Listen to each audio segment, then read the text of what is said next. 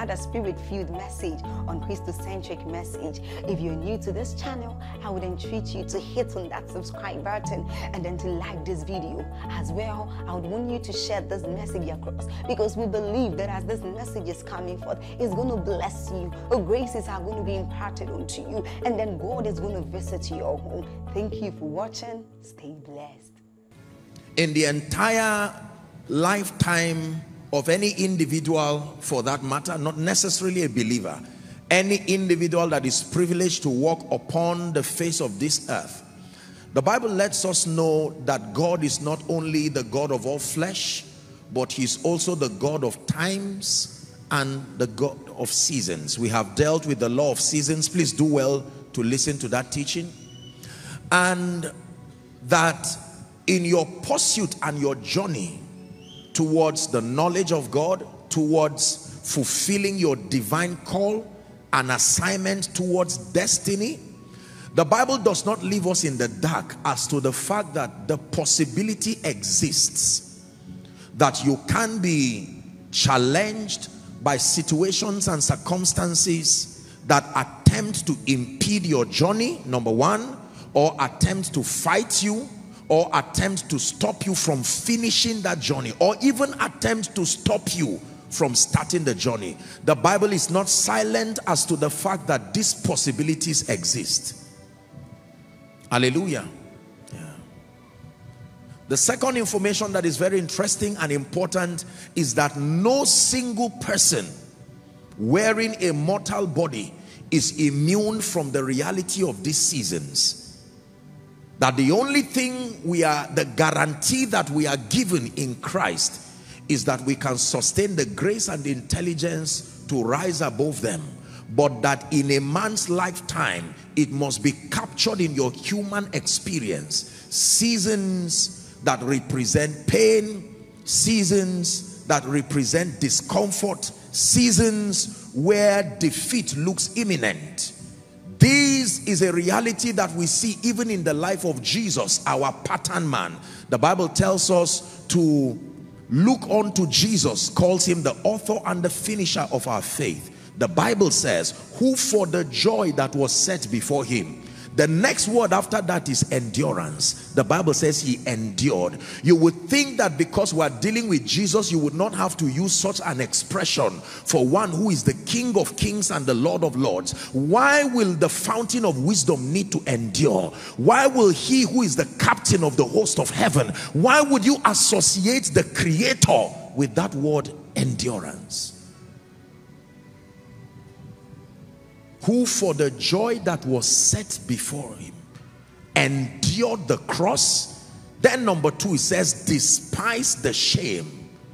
Two things he did that the bible says is very instructive that in following jesus we must pay attention to the fact that even jesus was not immune from pain and shame now most people in church most believers in the body of christ have not been taught the spiritual systems put in place to deal with these seasons and these times. In as much as we teach on victory, in as much as we teach on the invincibility of the believer as far as his association with the Christ is concerned, we must be honest and matured enough to expose believers to the things that befall all men and to prepare their hearts so that if and when these seasons come, the believers can sustain stamina to be able to go through these seasons and then return victorious. Are we together now?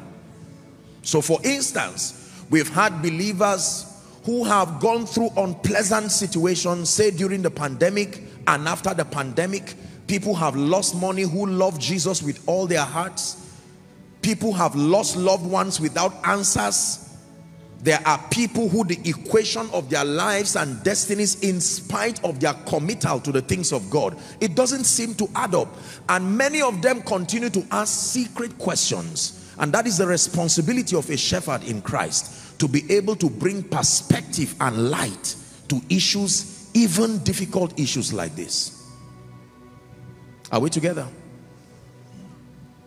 First Peter chapter 4 and verse 12. Media, let's walk together, please. First Peter chapter 4, from verse 12 to 16. Apostle Peter is teaching us now, and here's what he had to say. Beloved, he said, so he's talking to those who are in Christ. Beloved, think it not strange concerning the fiery trial which is to try you, he says, as though some strange thing happened to you. This is a very powerful information from a matured Christian who is an apostle. He's teaching and training you that you must be able to build a level of strength and stamina in the spirit that if and when you are confronted with uncomfortable situations that you do not address them as though some some mysterious thing were happening to you it says but rejoice inasmuch as ye are partakers of Christ's sufferings, that when his glory shall be revealed, ye may be glad also with exceeding joy. Next verse. It says, If ye be reproached for the name of Christ, happy are ye, for the spirit of glory and God rested upon you. On their part, he is evil spoken of, but on your part, he is glorified. 15 but none of you let none of you suffer as a murderer or as a thief. So there are different dimensions of suffering now. And as an evil doer or as a busybody in other men's matters. Last verse. These are various things that have sufferings attached to them. Yet if any man suffer as a christian let him not be ashamed but let him glorify God on this behalf. Scripture number two, Psalm 61 from verse 1 to 3. This is the cry of one who has been put down in life. This is a distress, a distress cry coming from a sincere heart unto God Hear my cry, oh God, he says. Attend unto my prayer. Verse 2. From the end of the earth will I cry unto you. In other words, no matter where you are, oh God, hear me. When my heart is overwhelmed, hmm, it says, lead me to the rock that is higher than I. For thou hast been a shelter for me and a strong tower from the enemy. So the Bible lets us know that it is possible, listen carefully, it is possible for a believer to go through a season in his life, in the life of a ministry, in the life of an organization, in the life of a family, in the life of a nation, and in the life of a continent where it seems as though the word of God is not producing the kind of result that you believe for it to produce. In fact, the Bible says in Proverbs 24 and verse 10, Proverbs chapter 24 and verse 10, it says, if thou faint in the day of adversity, everyone say the day of adversity. December 25th in Nigeria and across the body of Christ is generally, it's been a day that has been earmarked to celebrate Christmas. Is that true? Wherever you are across the world, once it's December 25th, usually people celebrate Christmas. There are days earmarked to celebrate Easter. Um, other religions like, like our Islamic brothers have days where they can select to celebrate different, you know, activities. Other religions have days. Now, the Bible is telling you that is not the only day you should pay attention to. That there is another day, please give it to us, called the day of adversity. Not the hour of adversity. Not the minute of adversity. Day there does not just mean 24 hour. It means season. There is a season of adversity and he's giving you an information up hand that if you faint in the day of adversity it is because your strength is small. It is not because the adversity naturally should sustain the power to overwhelm you, but you did not build strength for that day. Are we still together?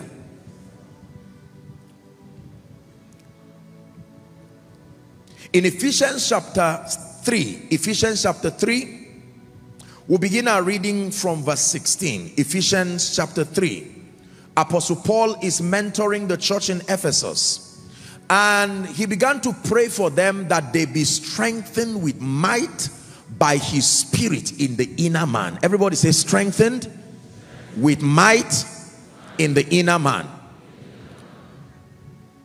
That Christ may dwell in your hearts by faith, that ye being rooted and grounded in love, uh-huh, may be able to comprehend with all the saints what is the breadth, the length, the depth, the height, and to know the love of Christ which surpasseth knowledge, that ye might be filled with all the fullness of God. Next verse.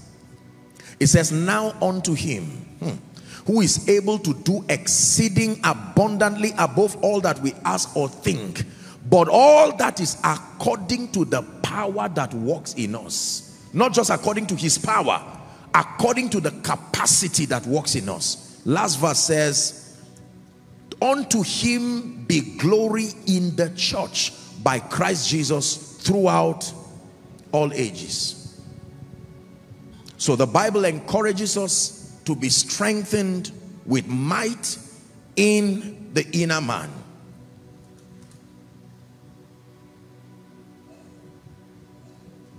In Galatians chapter 6 and verse 9, again Apostle Paul is teaching here and he says, let us not be weary in well-doing. Do not be weary. He's mentioning a word here now. That there is also a, there is a relationship, a strange relationship between weariness and well-doing. That a man can be involved in well-doing and yet be weary he leaves you with an information that provides comfort. It says, for in due season we will reap. If, if there is a condition, if we faint not, that means even if you have been um, committed to well-doing, if you faint, you may not survive the times where the harvest will come for you. I do not know one great man who became great properly with the dignity of kingdom integrity, who does not have a story of these seasons of adversity, whether in ministry, whether in business. In fact, the Bible lists the credentials of the kinds of people you should follow. It says, follow them who through faith and patience if you find results that did not come through faith and patience, is advising you to run away because something is wrong with that result. Are we together now? Follow them, he says, who through faith and patience have obtained the promise. It is very important for us to know that adversity is a reality that will attempt every life every family sooner or later. You know, by the privilege of what I do, I'm exposed to people's painful situation and the most obvious and I would say the most um, challenging, if I'm right on that, is anything that has to do with the loss of loved ones. I am exposed literally every day to someone or some family that is attempting to make sense over the loss of a loved one or over loss of money or loss of a job some some kind of situation that represents adversity. And over the years i've had to look for a scriptural and meaningful explanation to give perspective to those events. Because i i wish i can tell you you have all the answers at those times. But there are times you will be challenged with things that you will exhaust your intelligence from border to border and not find any answer that makes sense to such a situation. Now, there are people who fail and go through things in life because of um, obvious disobedience to kingdom principles as far as victory is concerned. But I have seen in my life that there are others who you cannot exactly pinpoint anything wrong as far as they are complying to kingdom principles in as much as we can see is concerned. And yet yet I have seen great people who love Jesus Christ pass on to glory painfully so. I have seen people who love Jesus with all their hearts go through tragedies. I have seen families who love Jesus with all their hearts. I've seen patients sick who love Jesus with all their hearts and they died quoting scripture. They died saying, by his stripes, I am healed. I've seen people who continue to declare that my tomorrow is great and they went, excuse me, they went to their place of work and returned back with a sack letter. I have seen people who have trusted God to make sense of every area of their lives. Finances spiritual life marriage relationships parenting you know their jobs all kinds of situations. The Bible says listen very carefully according to Psalm 27 verse 13 and 14 all men all men without exemption go through these seasons of weariness, of adversity, of frustration, hardships, challenges, mishap, and so on and so forth. Here's what it says. Psalm 27, 13 and 14. I had fainted unless I had believed to see the goodness of the Lord in the land of the living. Verse 14 it says wait on the Lord. Be of good courage and he shall strengthen thy heart. Wait I say on the Lord. Scripture number two is a popular one Isaiah chapter 40 verse 29 and 30 if you do not know this scripture it's a sign that there is a measure of laziness in your spiritual life because usually if you are one who is committed to prayer and fasting no matter how weak you should have come across this scripture. It's a classic as far as the ministry of prayer and fasting is concerned. The bible says he giveth power to the faint and to them that have no might he increaseth strength. Now the reality is in verse 30 please read with me. Ready? One to read. Even the youth shall faint. Hmm. Ladies and gentlemen, look at what you are reading very carefully. He's not talking about backsliding here. This has nothing to do with backsliding. This is the reality that befall men by reason of wearing a mortal body. That there is the emotional wear and tear that can befall men. Now you know that the glory of the young people is their strength and yet the Bible says as far as this season of adversity is concerned even the youth shall faint and be weary. And it says the young men shall utterly fall. So it is true that men can lose strength it is true that people can go through seasons of adversity I just feel like defining that word adversity. Please write it down. Adversity. From the word university, just remove uni and put AD. Adversity. What is adversity? I wrote down here a state of serious or continued difficulty or misfortune. A state of serious or continued difficulty a state of serious or continued difficulty or misfortune so when we talk about adversity we talk about a state of continued difficulty or some form of misfortune hardships challenges mishaps you would imagine that these kinds of things should never happen to a believer and as far as the word of God is concerned, we continue to declare and release our faith for days of victory. But the reality of the life of a man upon this earth is that sooner or later, something of this sort will either come to happen to you or to someone who is connected to you. You know, I've had the honor and the privilege of standing before many dead bodies in my life. Many. Some praying for them to come back to life. Others just standing and looking at the reality of the other side of life. And I can tell you this.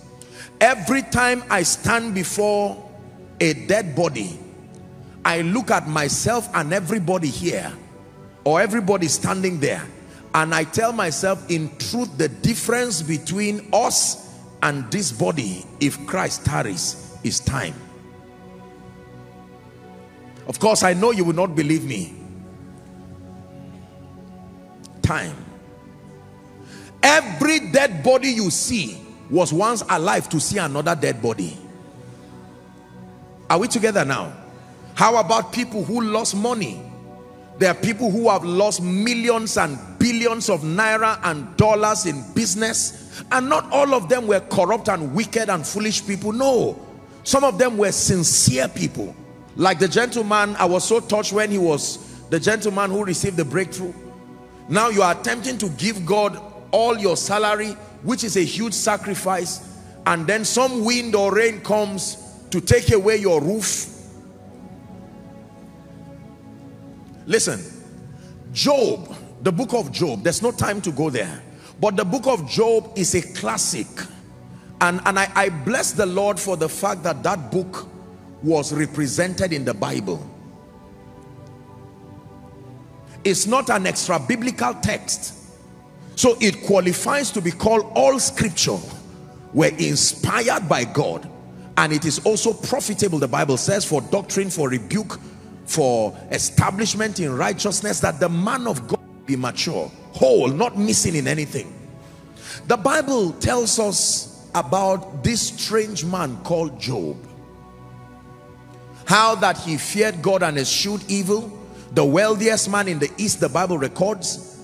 Then the Bible now flips to the realm of the spirit and begins to give us a very interesting picture. That one time the sons of God came together and Satan was in their midst. Now I'm not here tonight to argue the theological debate as to whether it was um, Satan still has access to the presence of God and so on and so forth. This is not my assignment tonight. But one thing I can tell you is the fact that he is not called angel or Lucifer should already tell you that is already his fallen state. Are we together.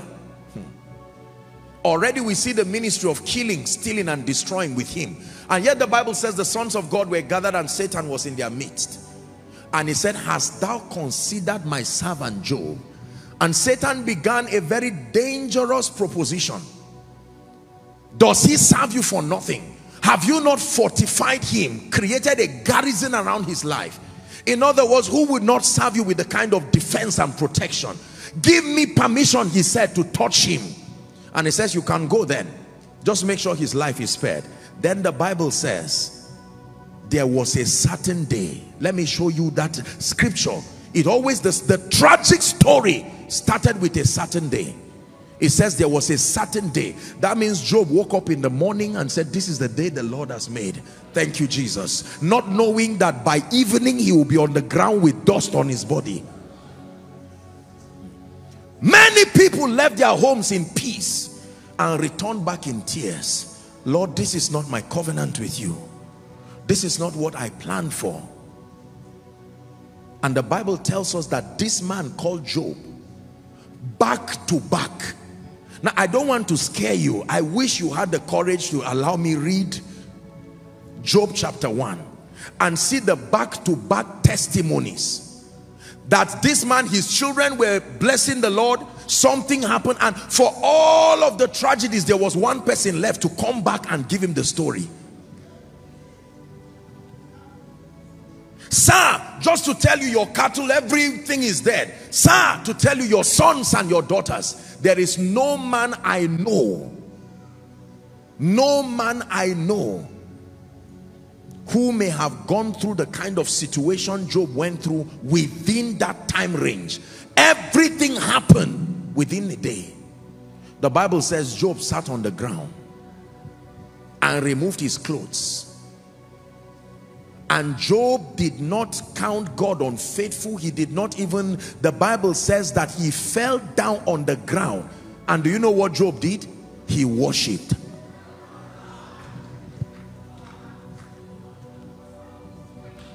And worshipped.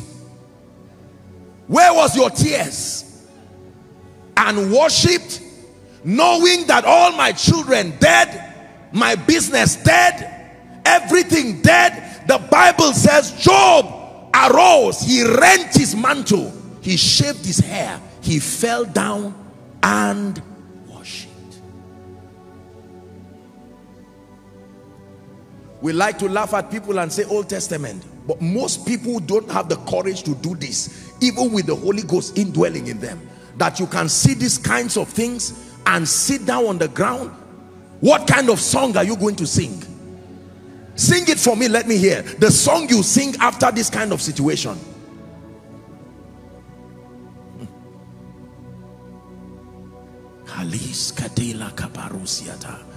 Many of us, you misplaced 10,000. Is there. It's just that you can't find it. You are angry. You've, you've insulted God. You know the...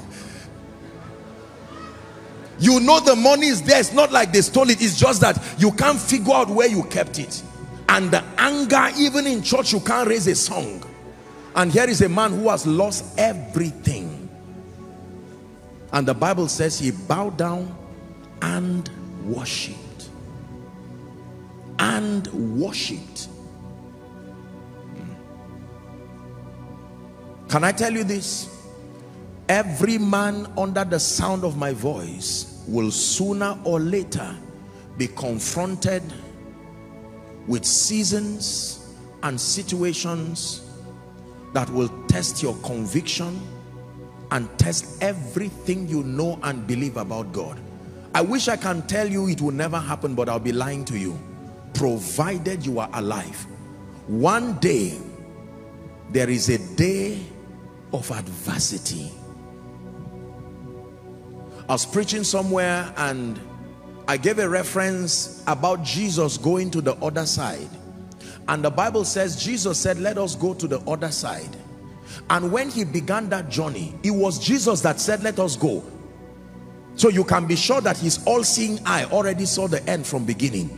And yet, as soon as they started that journey, the Bible says there arose a storm of wind with Jesus as the visioneer, with Jesus as the one who sold that idea to go to the other side.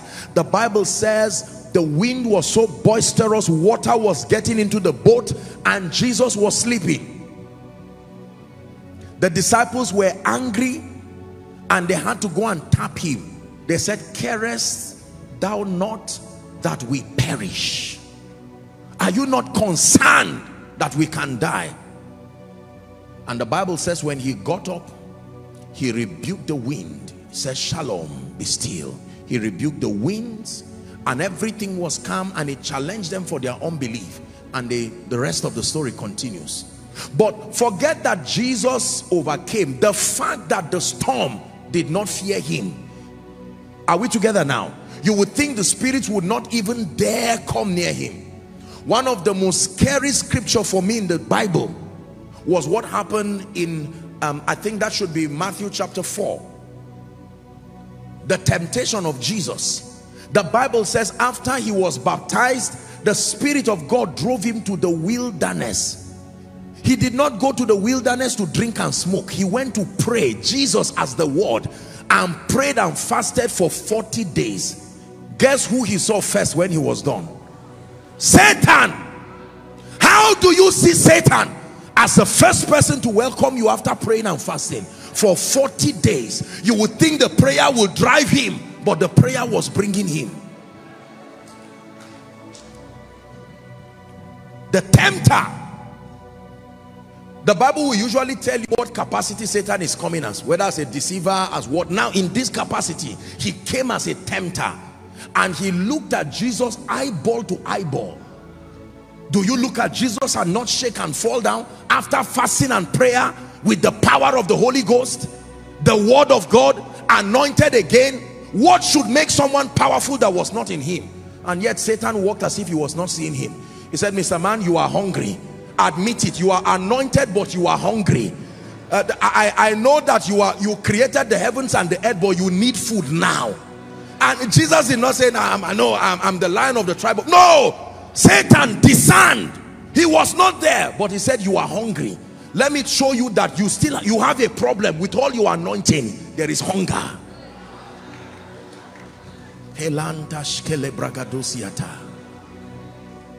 How do you bring such a demeaning statement to such El Shaddai? The man who created the heavens and the earth and he says turn this stone to bread and Jesus said no my agenda is greater than my individual satisfaction. It is not about me. The next temptation the Bible says he took him to the top of the temple a place of worship with people praying there and yet Satan stood at the top of the church and said Mr. Man I'm dropping you here. Fall down for it is written. So don't think I'm ignorant he shall put his angels charge over you. They will bear you up on their wings lest you dash your feet against a stone. Don't forget who Satan is talking to here. Jesus. So don't be carried away by the fact that Michael threw him down from heaven. He's standing with Jesus now and he's talking to Jesus as if Michael were greater than him.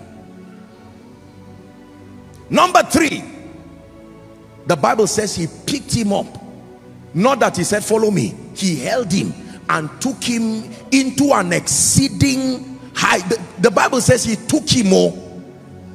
How do you take somebody? Hmm. he took him into an exceeding high mountain and showed him all the kingdoms of this world and the glory of them. Because every kingdom there are three things that make a kingdom every kingdom must have glory it must have the power and authority that backs it represented by the scepter. Are we together now? And it must have inhabitants there. And the bible says he showed them the glory. And here's what he said verse 9 satan now you don't know how stubborn he is. All these things i will give you.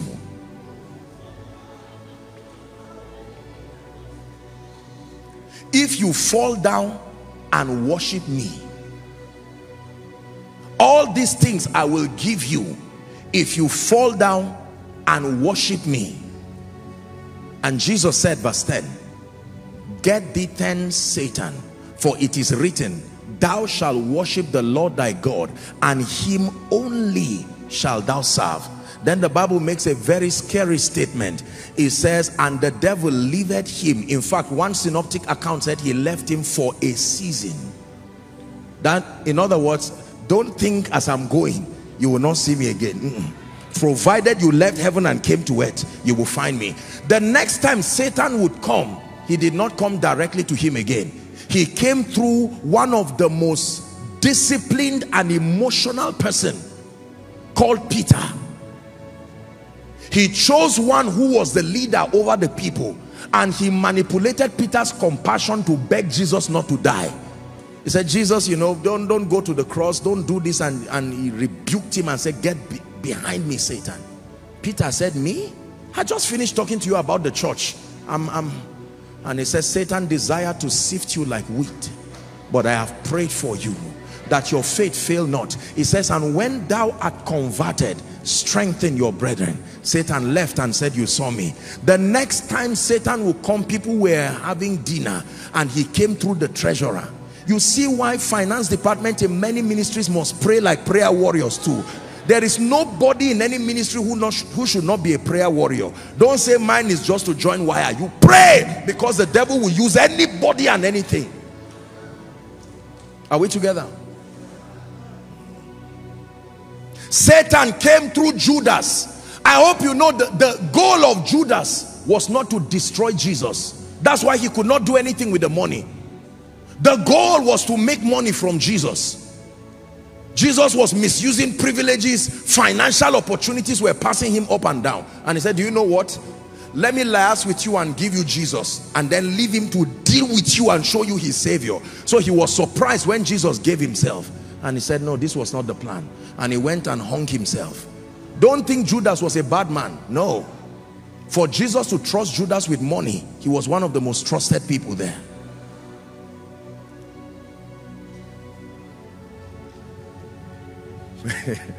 you know, I was laughing. Someone shared a very interesting story that kidnappers kidnapped someone's child and they demanded for 50 million and the family called them and said all they have is 50,000 and the kidnappers insulted them and off the phone in anger and said if they don't bring up to 5 million they will finish the people. And the man said honestly there's nothing they can do. They should just keep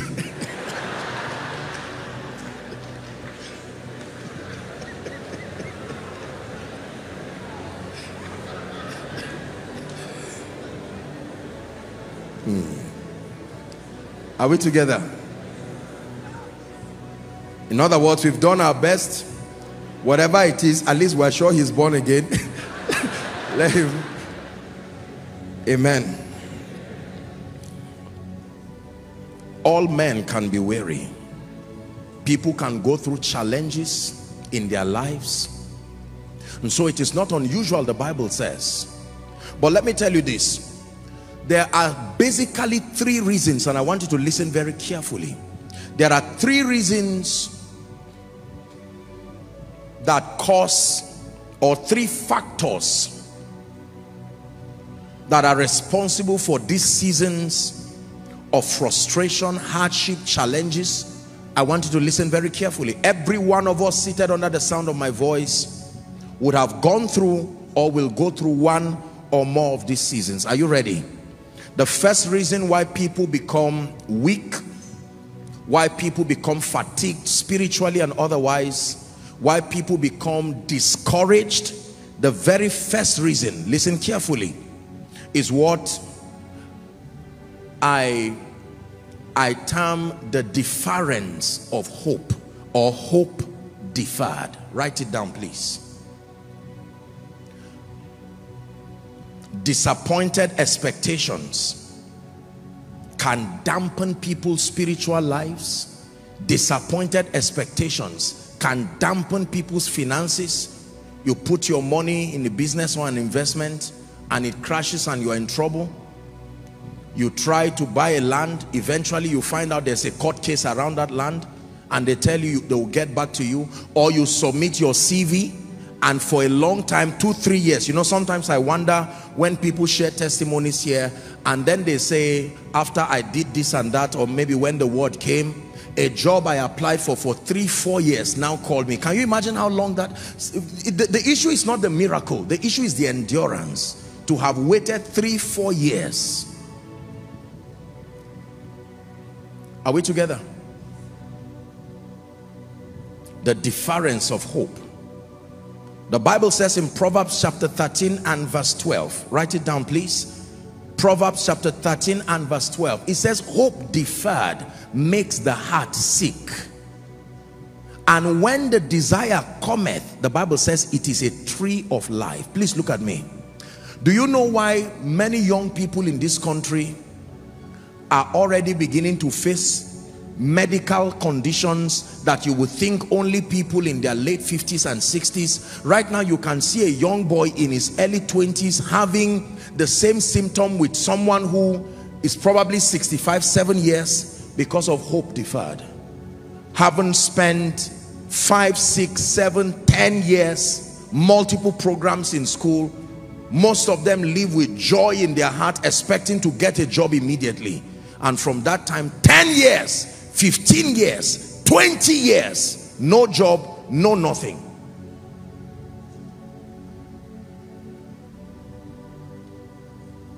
Financial issues marital issues fertility issues. I think one of the most depressing of all issues in my opinion as i have seen is the issue of fruitfulness where people will dance and celebrate. Everybody will celebrate with them speak prophetic words and 10 15 years later the couple are still waiting. Especially you see let me tell you this. Especially if you are in a position where you also have to minister to others. I've had the privilege to cry and pray with many preachers and sometimes when you see them cry their heart over these issues it can be hope deferred can be frustrating you will need the grace and the strength of God if God is speaking to you say amen, amen.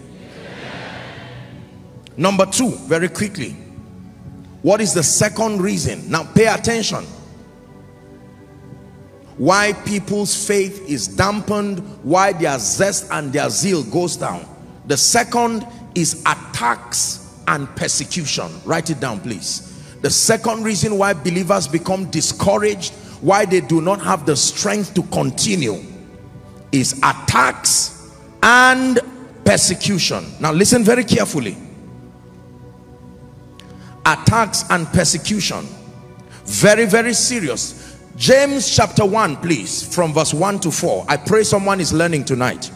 James 4 from verse 1 to 4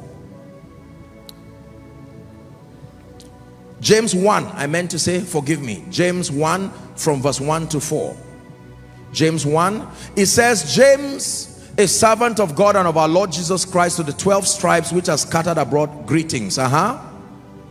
It says my brethren so he's speaking to believers look up please. Count it all joy when you fall into diverse temptations knowing this. There is an information that you have to know that the trying of your faith listen carefully worketh patience. Verse 4 it says but let patience have her perfect work that ye may be perfect. The word perfect there is mature an entire wanting nothing. Count it all joy. Listen to me. Many of you here have tasted greatness at different levels. In politics in government in family life spirituality ministry whatever it is. And i can tell you there is a cross there is a burden of greatness that most people do not know. If most people understand the burden that is associated with greatness you will not hurry into greatness. You will rather pray for strength and stamina. Are we together now? It is easy to be carried away by the glamour and the prestige that is around the great and not know that every great man is also carrying a cross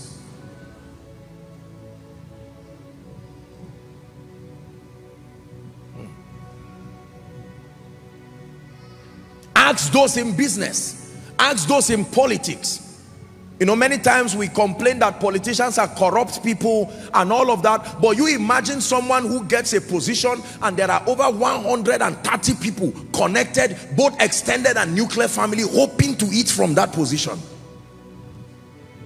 And everybody is calling and saying my uncle you are a wicked man you are a devil you can help me. What is this and now this man has this to deal. The temptation to already go there and begin to touch resources is already there because of that reality. Let me tell you this. Greatness needs a skill for you to remain there. In fact the easiest part of the equation of greatness is becoming it. Remaining great is harder than becoming great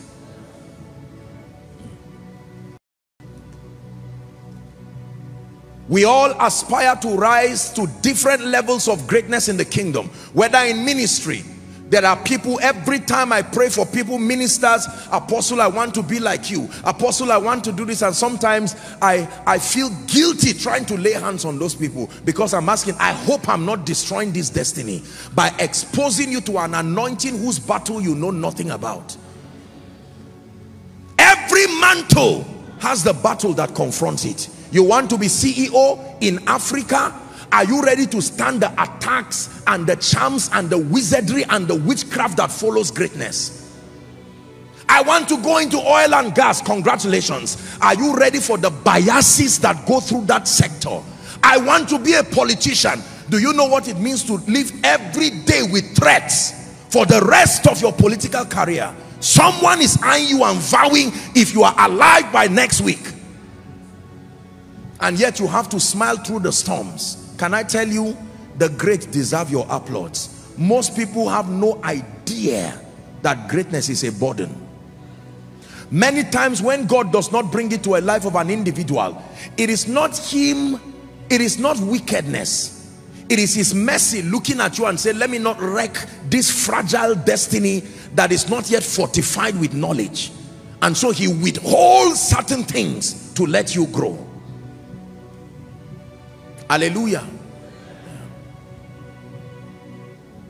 I remember many years as a man of God, many years ago, um, I, I, I really had problems. I'm, you know I'm, I'm one person who doesn't like trouble at all. I want to make sure I call everybody respond to everybody do everything to everybody and it was wearing me out. I didn't have time for myself. People would call me 12 1 a.m and you know express their disappointment that I'm resting you know? And sometimes they try to bully you by saying great men you know they are praying through the night what you know and so on and so forth. And at a point in time I had to obtain grace from God to be delivered by him so that I don't become a victim of all these things. But I can tell you greatness comes at a cost. I remember a gentleman who I think he he lost some, I, don't, I don't know which of the relatives and for more than one month that gentleman kept sending me text messages apostle I will not let you rest until you give me an answer as to why this kind of thing happened to my family. I agree that I'm not close to God but I know you are close to God. Ask him for me. And he meant it.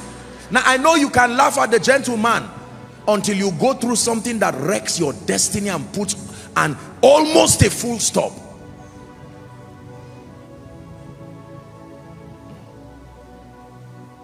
attacks and persecution. For as long as you are not great your watch is okay. For as long as you are not great a man of God says nobody researches failure. People only research success. When you fail nobody will go and check and say I need to find out why you have failed. Except you succeed then you find all kinds of things. The moment you succeed something is wrong with your watch. It's supposed to be worn well. Something is wrong with your trouser. You didn't you know hold it well. Something is everything is wrong with the great. It is the burden of greatness. Are you learning something? Very very important. Attacks and persecution. Jesus himself said that in this life you will receive cars and houses and etc with persecution.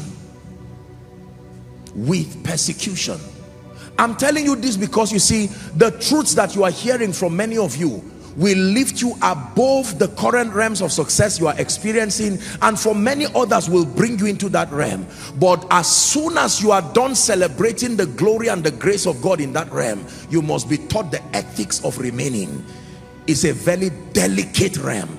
It's a realm that can wreck you emotionally have you not heard of great people who committed suicide? Why should a billionaire commit suicide with all the money there? Why should someone holding a great position? Remember when the people were arguing and were insulting Moses? Are you the only one God will speak to? We want to hear him too. Moses went to God and said these people will worry me. And God said all right let me speak to them. Separate yourselves rule number one. For what? That's the condition to hear him after three days they were angrily waiting at the mountain.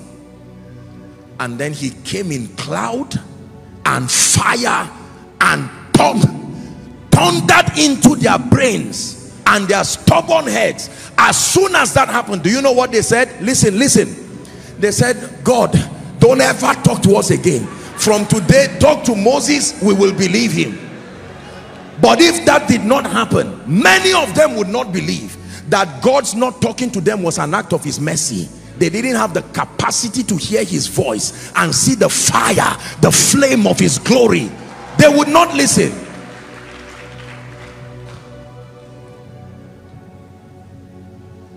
Attacks and persecution.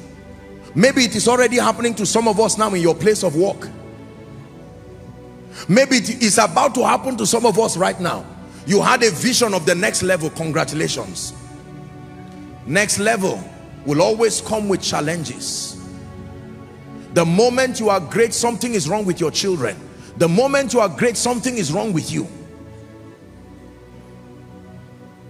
But thou oh lord art a shield for me. My glory you lift my head. But thou oh lord art a shield for me my glory the lifter up of my head so number one factor that is responsible for the weakness and the weariness of believers is the difference of hope. Disappointed expectations. Number two, persecutions. Can I tell you? Jesus, who was the son of the living God, for as long as he was a young boy, he could freely enter the temple and learn with the scribes and Pharisees. Nobody had a problem with him. But the day the Holy Ghost landed on his head and the voice said, this is my beloved son, hear ye him. He returned in the power of the Holy Spirit and the Bible says his fame went abroad. There was a group of people who said, look, this young boy, there is something wrong with this gentleman. Something is wrong. The whole city is already beginning to hear your voice. And they started finding an occasion. And because Jesus was a man, they found it. They found an occasion. Remember when they were before Herod, all kinds of troubles. This guy said he would destroy the temple that took us decades and build it in three days. He was talking about the temple of his body. Nobody asked him, what were you really talking about? That was not their business. It was an occasion. One day someone will come and stand before your pharmacy and see it as big as this auditorium and say, investigate the life of these people. I know them. There is nowhere who would have given you one billion naira. You are a thief I will not rest until we dig into this. Welcome to the world of men. One day your father will win an election or your uncle or your mother and you will be surprised the new name you will be called. You will think it will be a name of honor and glory until they call you a fraudster. You, they catch you in, in, in, in uh, KFC buying food of 5,000. They will insult your father for it. How you afforded 5,000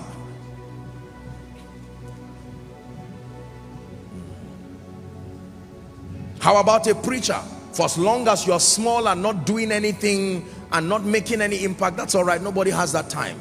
But may God begin to honor you and grant you grace. And then you see all kinds of things. How about business people? Someone calls you today, I'm in UK. Someone calls you tomorrow, you're in US. Must you say it? But that's where you are. Should you lie? Just say I'm not available. Why must you say I'm in US? Must you draw me that? You see? And from the sincerity of your heart, welcome to the world of men. You stand in the midst of people and you have your watch or your shirt that is God is showing his faithfulness through. You are in trouble for that. Even if it's a burial. While you are standing there, you will think that people are just crying, only remembered for what we have done. People are watching you. And as soon as that burial is done, they will tear you the way you pieces, you know, protein, meat in, in, in the kitchen. Do you have the stamina? Can I tell you this? Jesus got to a point where he was fed up with all the things they were doing. And when he knew that there was still more left, dear people, let me tell you this. If it is the glory of God you are going to carry in your life, you must sustain the strength. You will go through high waters. You will go through things that are not your business at all are we together now? Yeah. Someone called me one day and said, I hear you know so so so politician. I said, what does that mean? Doesn't he have brothers and sisters? Oh, and um, this and that and that. And I told him, I said, I'm not a politician. I'm a man of God. I'm a friend to politicians. I love them. I don't run away from them. I believe I have a ministry to them. But if you are calling me to discuss matters of politics, please short i don't have that time you see that now because any position god puts you in will come with his own troubles. You wait till god elevates you to a position somewhere and someone will come to meet you and say sorry this man who is your friend he's owing me 10 years money from business. Can you force him for me? And he said no no no i'm not in that. And then you are in trouble. Persecution and criticism whether you belong to Jesus or you belong to Satan, one thing that is common to them both is we don't let them rest. There is persecution at both ends. So whether you decide to serve Jesus or you decide to serve Satan, one thing you will not escape, if you are close enough to any of them, is persecution. We don't let demons rest. Every week you see what happens here, week in, week out. So the whole thing is in different dimensions. What have I done that people don't like me? You succeeded. What have I done? You are changing lives. What have I done? You are making a mark in destinies. It is not always what you are doing wrong. It may be what you are doing right. Number three, very quickly. What is the third reason why people get discouraged and get weary even in the kingdom? The third reason is called sorrow. Many of you really do not know what sorrow is. Sorrow is an emotional state. Medical people will tell you that this thing we call sorrow is not just a sociological concept. It is, it is deeply emotional and even a medical condition. The feeling of distress, the emotional, the emotional, um, what's it now? The emotional pain that comes as a result of disappointments, as a result of misfortunes, as a result of losses is one thing for you to go through seasons that are uncomfortable but when the seasons get to you they produce what we call sorrow are you learning First Peter chapter 1. We'll read the first eight verses. First Peter chapter 1, please. If God is speaking to you, say amen. amen. Let's start from verse 2. Did I get that right?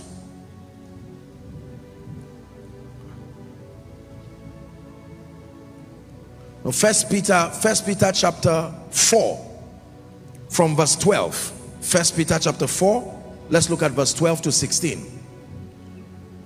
Beloved, okay, I read it already. Think not strange concerning the fiery trial, which is to try you, as though some strange thing happened to you.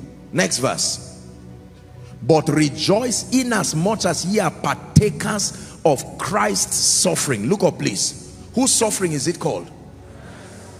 That means when you go through, listen to me, when you go through uncomfortable seasons on account of your love and your determination to become all that God has destined you to be the Bible says it is not your suffering. You are only partaking of Christ's sufferings. And the Bible says there is a relationship between sufferings and glory. It says the sufferings of Christ and the glory that shall be revealed.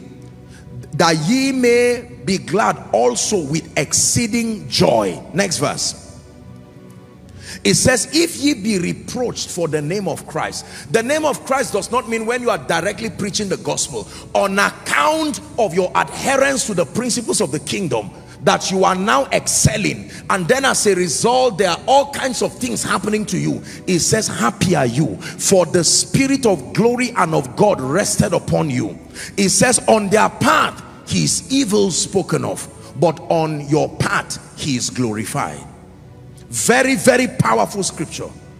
Of course, the warning is already there. None should suffer as a murderer, thief, evildoer, busybody in other men's business and all of that. If you suffer as a Christian, it says, do not be ashamed. Do not be ashamed.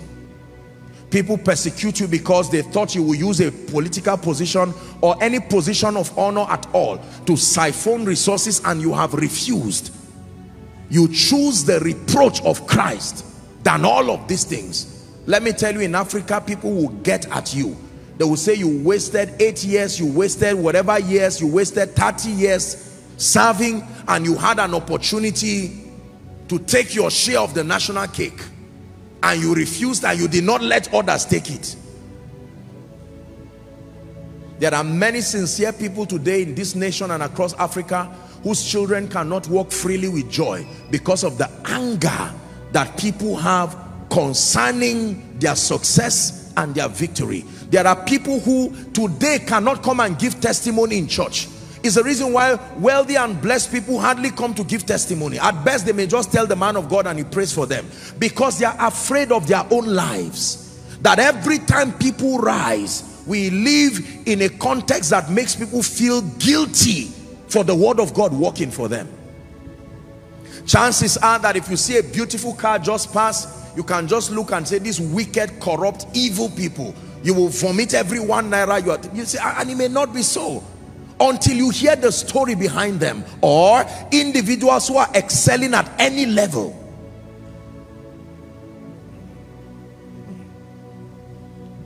Sorrow.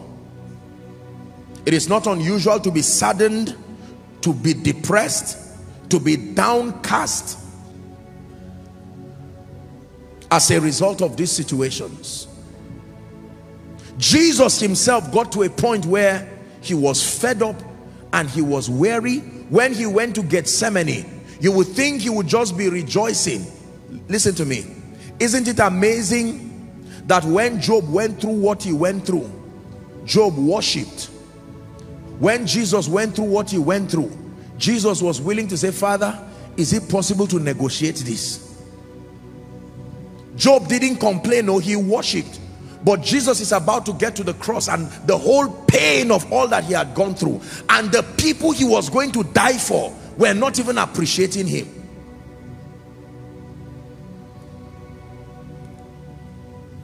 How many children today look at their parents and insult them and say shame on you. Other people are taking their children around the world. We are here and you can only take us to this school. All you can do is pay our school fees and it can be painful as a responsible father and mother.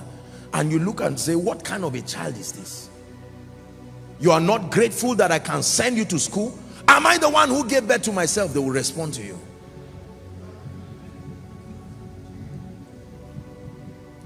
There are times when your good can be evil spoken of.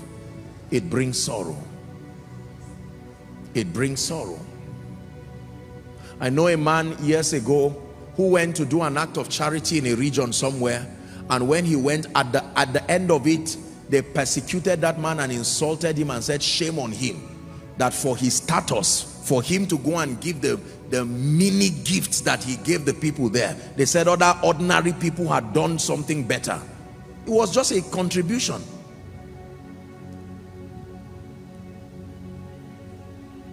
Have you seen people that you give them a bag of rice and they say, where's the salt? Where is Maggi? You just gave rice like that. Listen, beloved people of God, I know we are laughing, but I want you to pay attention because many of you right now, this is one of the things that closed the door to your heart of compassion. You were not like that. There are many loved ones who have been changed as a result of the evil-heartedness of people. There are people who have vowed today to never help anybody who is not their children in the nuclear family again because they've invested in too many people who have brought them heart pain. Have you seen such kind of families? There are many people who took other children. All their children are well behaved and all those they outsourced to help have caused trouble. They have slept in the station. They have gone through all kinds of trouble because of someone else's child it can be very painful the sorrow the the bleeding of the heart that comes on account of your greatness and on account of your intention to serve the purposes of Jesus how about sincere people who have gone to pray with families and they just box them together as men of God and say all these prophets moving from house to house looking for food to eat whereas some of them were sincere people who were praying from the depth of their heart with families. There are some of us men of God is almost like a cross day and night. People believe that every man of God who God is helping is either using a charm somewhere or he's using some some uh, uh, uh, uh you know one whether demonic something that you ate and you swallowed and, and so on and so forth. The moment people see the spectacular manifestation of the hand of God upon a life, how about people who are blessed? You see, the moment people do not understand your life and your lifting, the moment you become a mystery, people will give their interpretation to everything around your life. There are sincere people who have suffered and continue to suffer across boards all around the body of Christ on account of what God has done and is doing in their lives.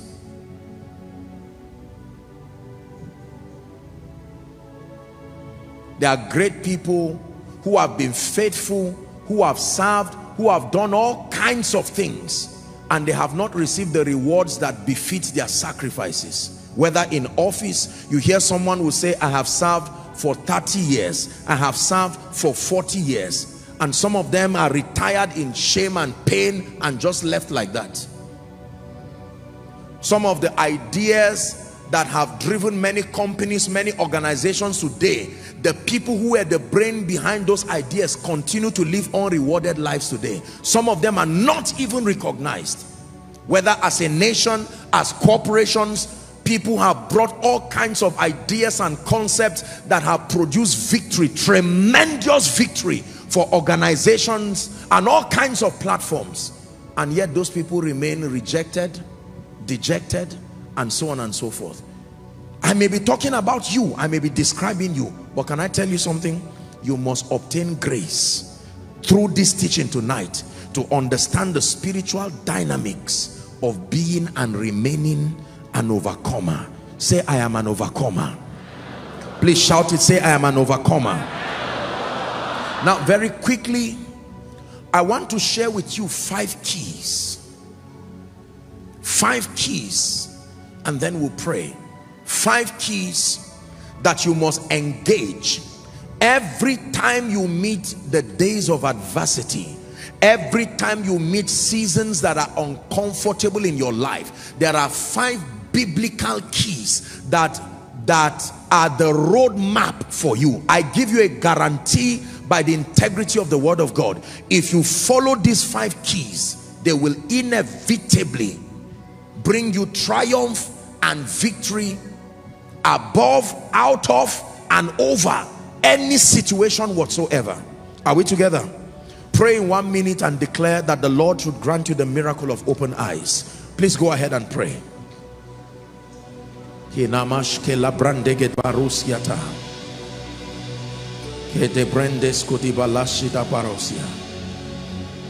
Mighty God.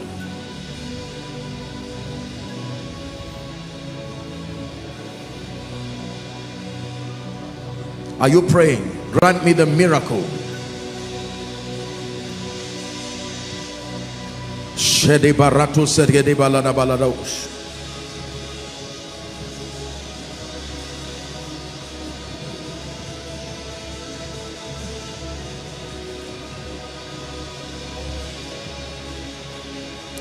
Say to those that are fearful hearted do not be afraid. The Lord your God is strong and in his mighty hands when you call on his name. He will come and save you. He will come and save you. He will come and save you. Say to the weary ones, Your God will surely come. He will come and save you. This is a prophetic word for someone. You will not end up in that situation. While you are there, I want you to know that His Majesty is coming with triumph he will do it in the open in the presence of everyone and they will know that he has come to you as Ebenezer. In the name of Jesus Christ. Number one the first key if you want to live the life of an overcomer in the presence of challenges the vicissitudes of life the first key listen carefully is the revelation of the love of God. You must have a strong revelation of the love of God. Please pay attention. You must draw your strength from the fact that you are his beloved. You want to write that down. Beloved. That he loves me. Very simple statement, but it's powerful. If you know anything about people who are in love, there is nothing they will not do for one another. So the awareness and the consciousness that I am not only his son, but I am also his bride. His jealousy is there to defend me. First John chapter 3 and verse 1. Let's look at a few scriptures. You want to live the life of an overcomer? The Bible says, behold what manner of love the Father has bestowed upon us. Behold what manner of love. That means look at the extent of love that he has so lavished towards you. Because let me tell you this. When you go through hope that is deferred, when you go through persecutions and all kinds of tribulations and criticisms, listen carefully. When you go through all kinds of um, emotional strains that come from these things, sorrow, chances are that you will begin to reconsider the reality of God's love towards you. Do you really love me? The first thing that went wrong when the boat was about to capsize with the disciples is they are, they are listen to what they told Jesus. Carest thou not that we perish. In other words why are you acting this irresponsible to what we are going through you seem to be non-responsive to our situation the grace of our Lord Jesus Christ the love of God the love of God the love of God Jeremiah chapter 31 and verse 3 is a popular scripture here. I have loved you with an everlasting love.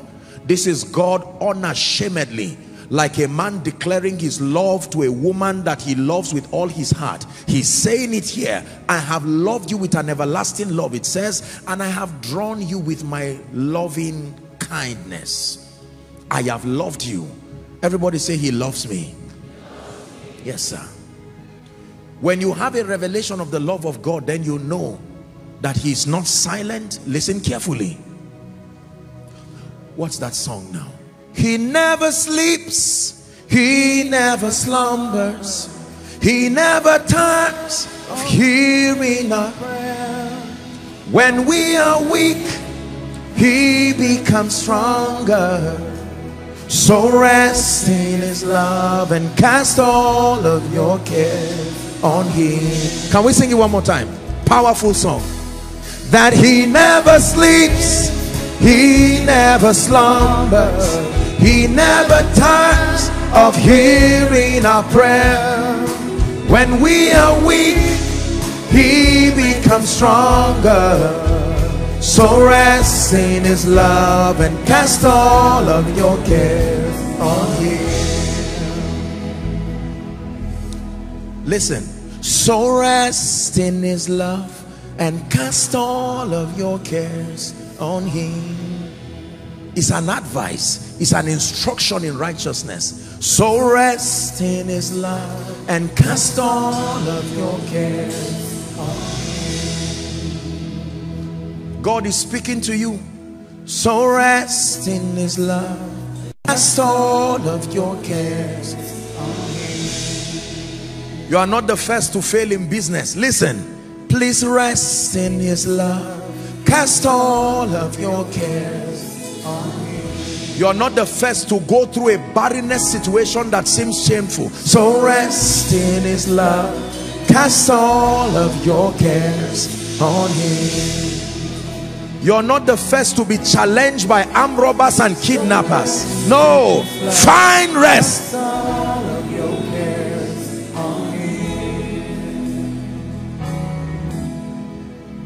I will rest in his love cast all of my cares. This is a prophetic word to a family to an individual.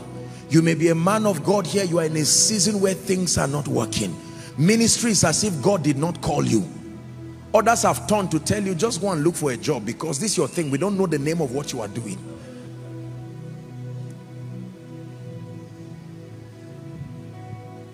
There are times when the results are not obvious. It is very painful because there is no explanation you can give. There are times where people will ask you, where is your fasting and where is your prayer? There are times, it's a popular saying, especially across Africa, where is your God, they say. Where is your God that people are dying in your family? Pastor, where is your God? That while you are preaching, you do not have a child yourself, they say. So rest in his love. Cast all of your cares. Hear me. Only answer questions that have rewards. Don't cheapen yourself to respond to every question you will be asked in life. Why is this family like this if you love the Lord? It's an unnecessary question. Learn to rest in the love of Jesus. Romans chapter 8 and verse 28. Jesus is speaking now. And we know, huh, we know, it's an information that is privy to those who are in the kingdom. If you are out of this kingdom, you may not know because it does not look like it. Those who are out of the faith walk by their sensory perception. But we who are in the kingdom, the Bible says we are privy to an information. We know that how many things? Including the painful departure of a loved one. All things including the loss of the job please hear me all things including the appointment you thought would be you and it was someone else all things all things work together for the good of them that love God. This is a love realm. This is a love affair. To them who are the called according to his purpose. How many things?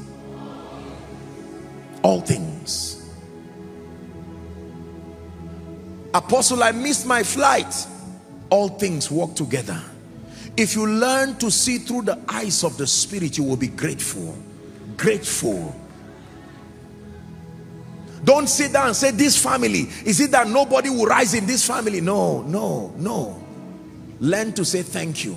Lord i do not know what you are doing but i am grateful because in your wisdom mm, i trust your love for me.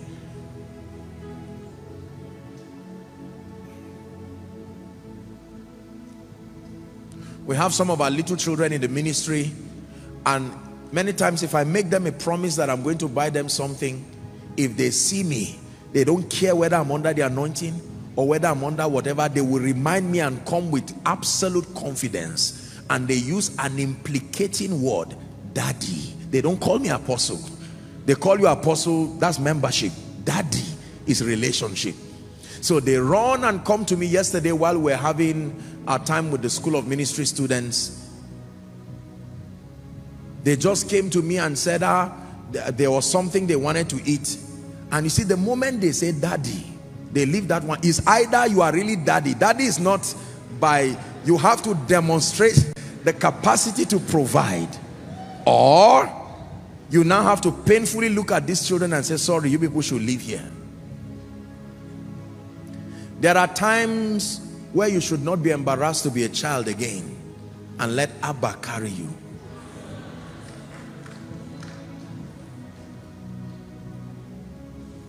When the oceans roll and thunders roll, I will soar with you above. Father, you are king over the storms. Here's your part that I will be still and know you are God. My soul be still and know you. I will be still and know you are God. My soul be still and know you. When the oceans, when the ocean rise and thunders roar.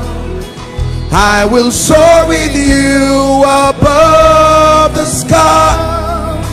Father, you are king over the storms.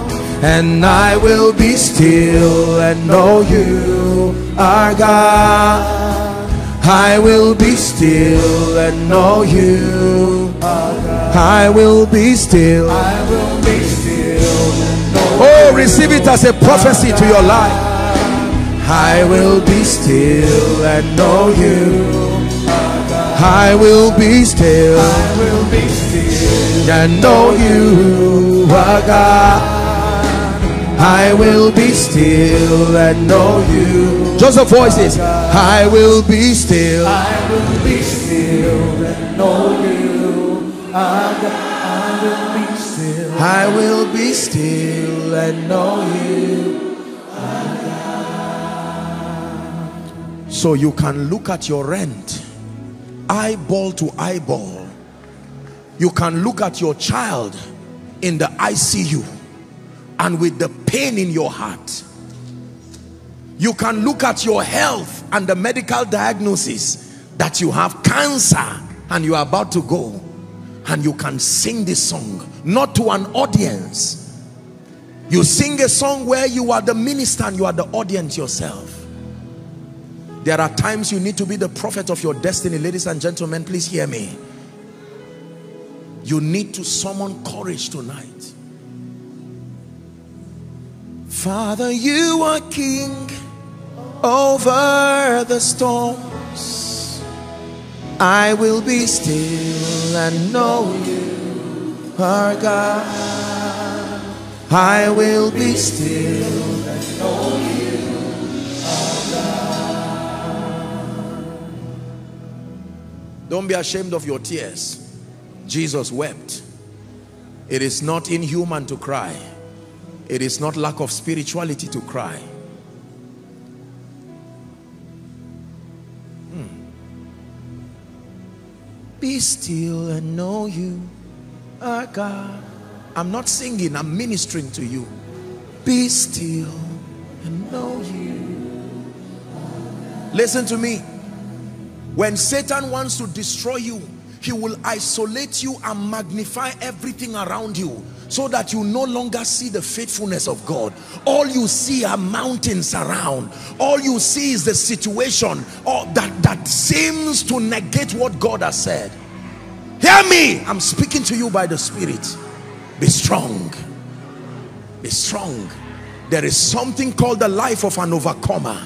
You can stand and look at everything young man will you be able to rise one day and take care of mama i may not be able to show you any result right now i don't have much to say let my future do the speaking i will be still and know you i will be still and know you. hear me I want you to find strength in the love of God. A Christian is not just one who goes to church. A believer is one who is so jealously loved by the God of heaven. Look beyond your challenges. Please hear me, believers. I'm ministering to you by the Spirit. No matter what the pain is, look beyond it and look at Jesus. Don't just look at him as the powerful God. You need to look at him as Father. Lord, I know that you love me. Your jealousy has been so invested in my life. This I believe. There are people going through all kinds of storms right now. Listen to me. Though I walk through the valley low, I'll fear no evil by the water still my soul my heart will trust in you. My heart will trust in you.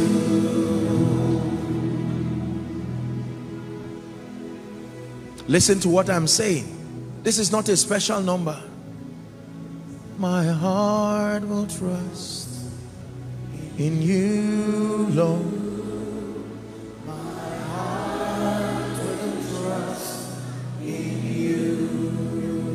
Apostle, you're only speaking now because you have food to eat at home. As I'm sitting right now, I have three children, four children. I do not even know how they are going to eat after service. Can I minister to you? Find strength. It always does not look like it.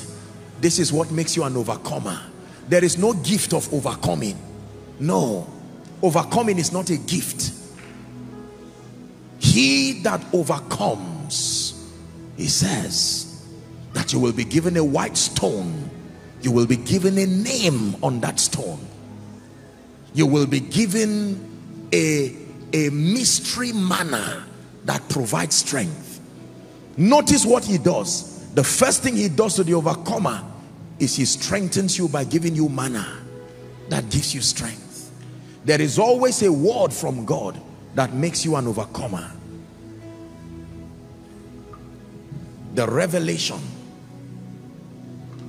The Bible says in Romans chapter 8 and verse 28, we read it, that all things, not some things. Please listen to me. It is not unusual for you to cry. You will find many instances in your life where you have to cry. Cry with your children. Cry with your company. You know, after the pandemic last year, believe me without exaggeration, there were many people who retired from ministry and said, I'm tired with this serving God. I cannot serve God like this and have my children beg for bread. I hang my boots. Lord, just know that I'm born again, but as far as serving you is concerned, discouragement. How about those who lost their jobs? Some of you here looking at me, how about those who have gone through all kinds of tragedy? You started this year with joy, not knowing that you will have a reason to cry. And now, from bereavements to disappointments to pain,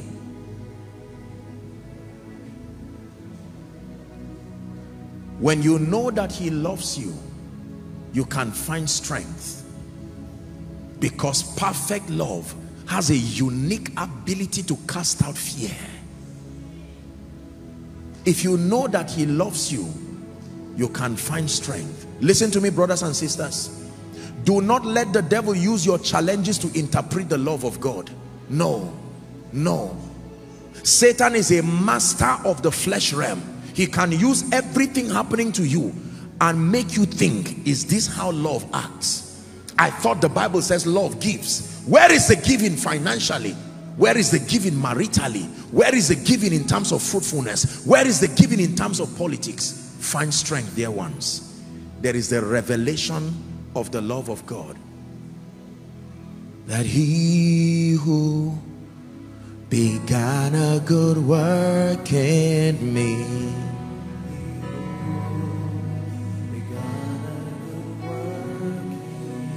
he began a good work in me. Oh, that's a prophetic word to someone. He'll be faithful to complete it. Ah. He'll be faithful to complete it. He who started the work He'll be faithful to complete it in you. Hear me. The same energy it takes to continue is the same energy it takes to go back. You must make up your mind. Whether you go back or go forward is the same energy you will dissipate. Make up your mind that I will take that leap of faith even if it means to walk on water. That if I perish, let it be that I perish at his word.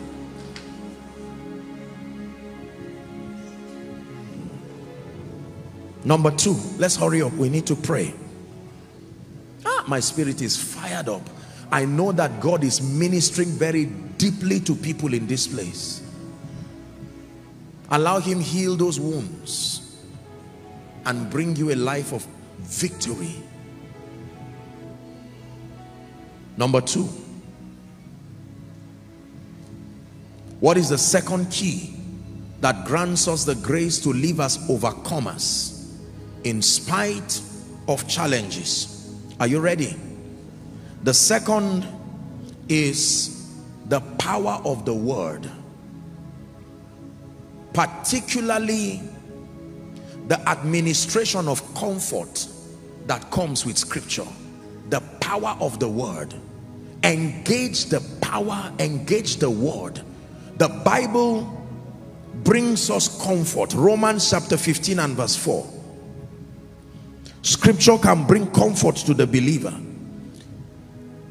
for whatsoever things were written aforetime let's look at a few things that were written aforetime abraham waited 25 years he still had a child written aforetime Job went through all kinds of things. You would look at Job and think his end had come. But at the end of his life, he had twice everything that he lost written aforetime. What else was written aforetime? A young shepherd that looked like he had a destiny without color and without dignity, serving sincerely but remaining a mediocre, now exalted to become king.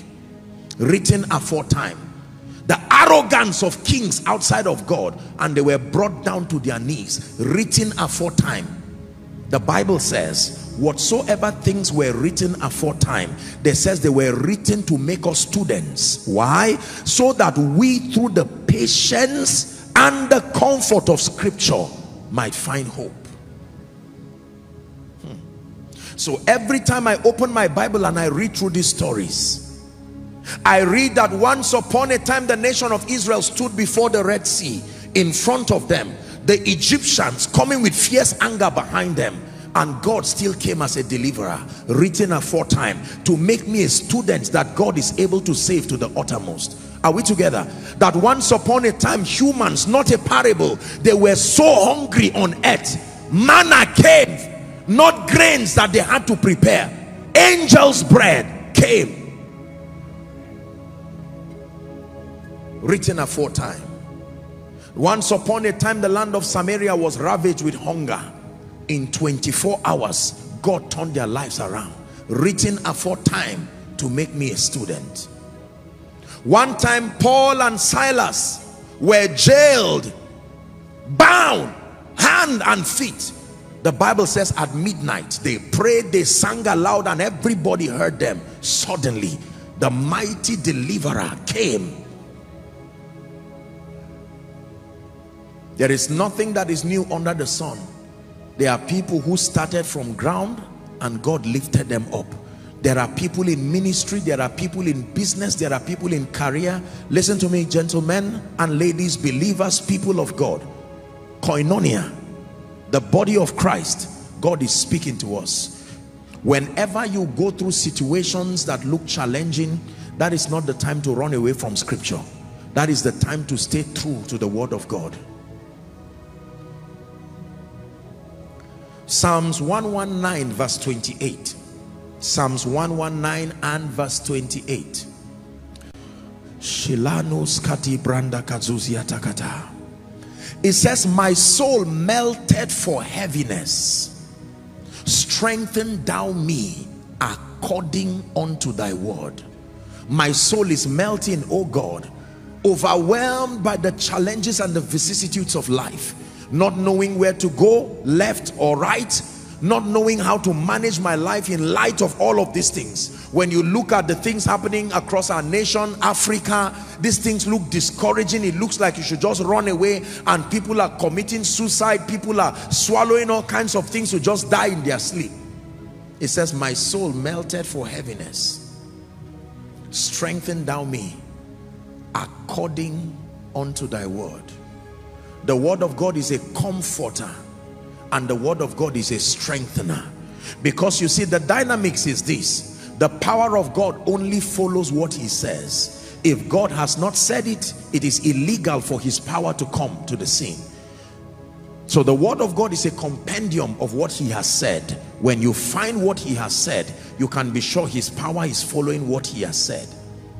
Are we together Genesis chapter 21 from verse 1 and 2 the Bible says and the Lord visited Sarah as he had said and the Lord did unto Sarah as he has spoken. If he says it if he speaks it he will do it. For Sarah conceived that is a testimony and bare Abraham a son in his old age. It says at the set time which God had spoken. So you need to draw strength from scripture. Scriptures like yea though i walk through the valley of the shadow of death the bible says i fear no evil. Why? For thou art with me. Thy rod and thy staff they comfort me says. Thou preparest a table before me in the presence of my enemies that you anoint my head with oil and my cup runs over. The lord is my light and my salvation. Of whom shall i be afraid of these are scriptures that must comfort you at these times. If it's a bereavement you must comfort yourself that the Bible says one day there will be the sound of the archangel and that those who are dead in Christ will arise first and we who are alive and remain remain where? In him. We will be caught to meet to to to meet them in the air. And then happily after rejoicing with Jesus it says I know my redeemer liveth. Let the weak say I am strong. Let the poor say I am rich. Let the depressed say I am encouraged and strengthened by the power of God. Most believers are not students of scripture. And so when these seasons come there is no legitimate way to draw strength. In fact for most people they do not know how to draw strength from scripture. At best they draw strength from respectfully speaking maybe movies or visitations from people. But most believers do not know how to sit down with the word and draw strength from it.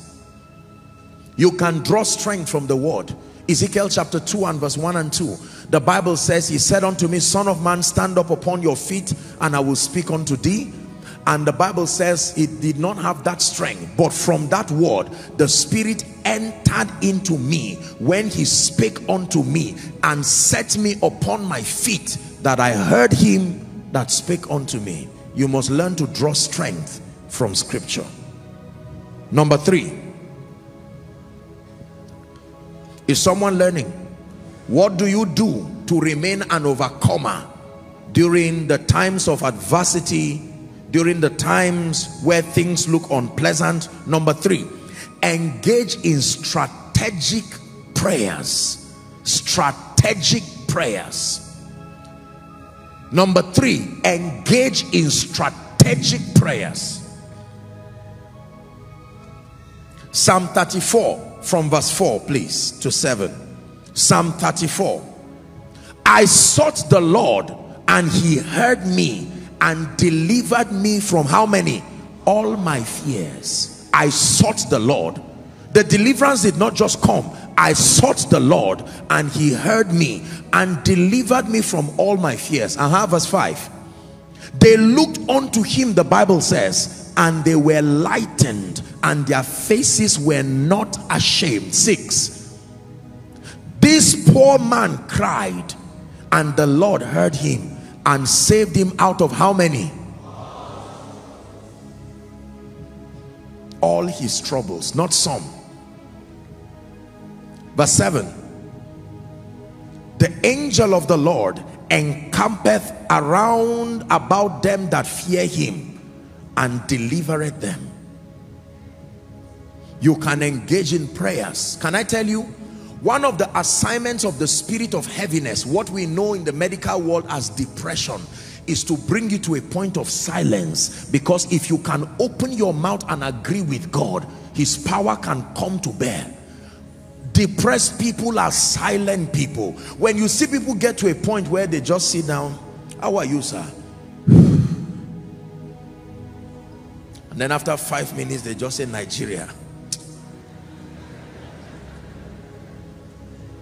What else? Are? Life. What else? Are? If I don't wake up tomorrow, just know that this one is for you. This one is for your brother. I rebuke the spirit of heaviness over anyone here. In the name of Jesus Christ. The Bible declares to give them beauty for ashes. Is that true? The oil of gladness for the spirit of heaviness a garment of praise for that that that spirit of heaviness that they might be called the oaks or trees of righteousness the planting of the lord that he might be glorified. Strategic prayers. Psalm 61 from verse 1 to 4 please write this because for many of you god is already revealing to you the blueprint. You prayed already and said lord as i'm coming to church give me a roadmap on how to make sense and then to manifest as an overcomer. This is answer to your prayer. Hear my cry oh god and attend to my prayer. Uh-huh. From the ends of the earth will i cry unto you. When my heart is overwhelmed, it says, lead me to the rock that is higher than I. Verse 3, it says, for thou hast been a shelter for me and a strong tower from the enemy. Verse 4, I will abide in thy tabernacle forever. I will trust in the covert of thy wings.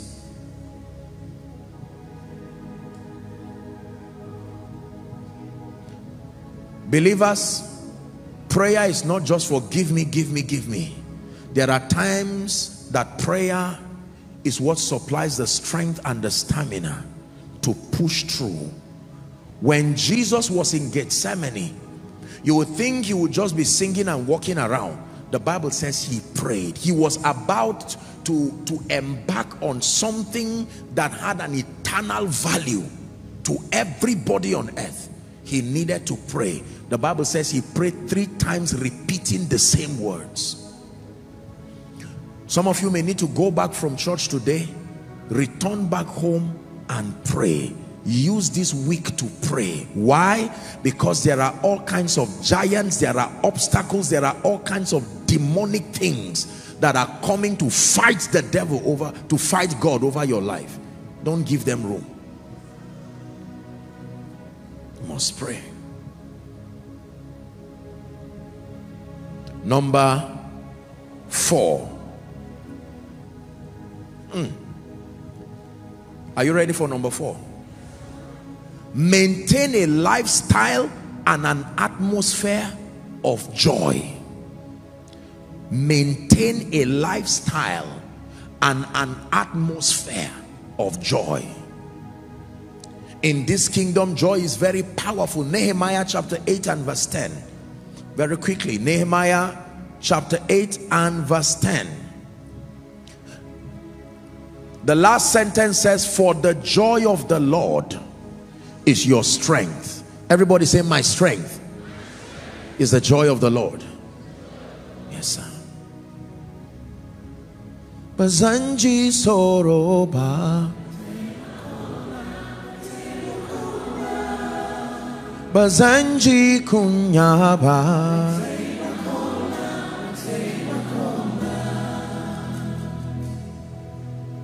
God is able to use your joy as a fetcher to bring strength to your life. Can I tell you?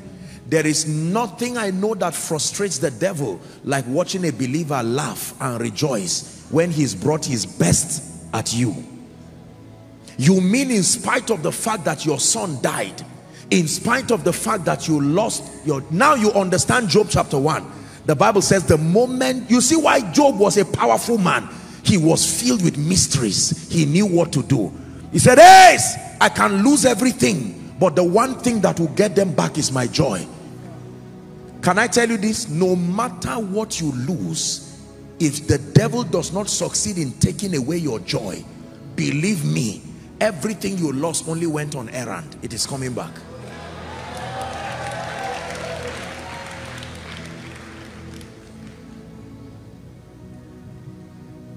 That's why we sang that song. Say to the weary ones, your God will surely come. He will come and save you.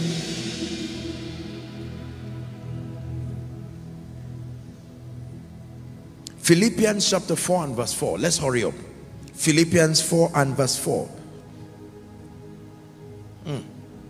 Rejoice in the Lord he never said rejoice in your situation. There are times that it does not make sense to rejoice in your situation. So you rejoice in the Lord. And again I say, rejoice. Someone prophesy to yourself, say myself rejoice.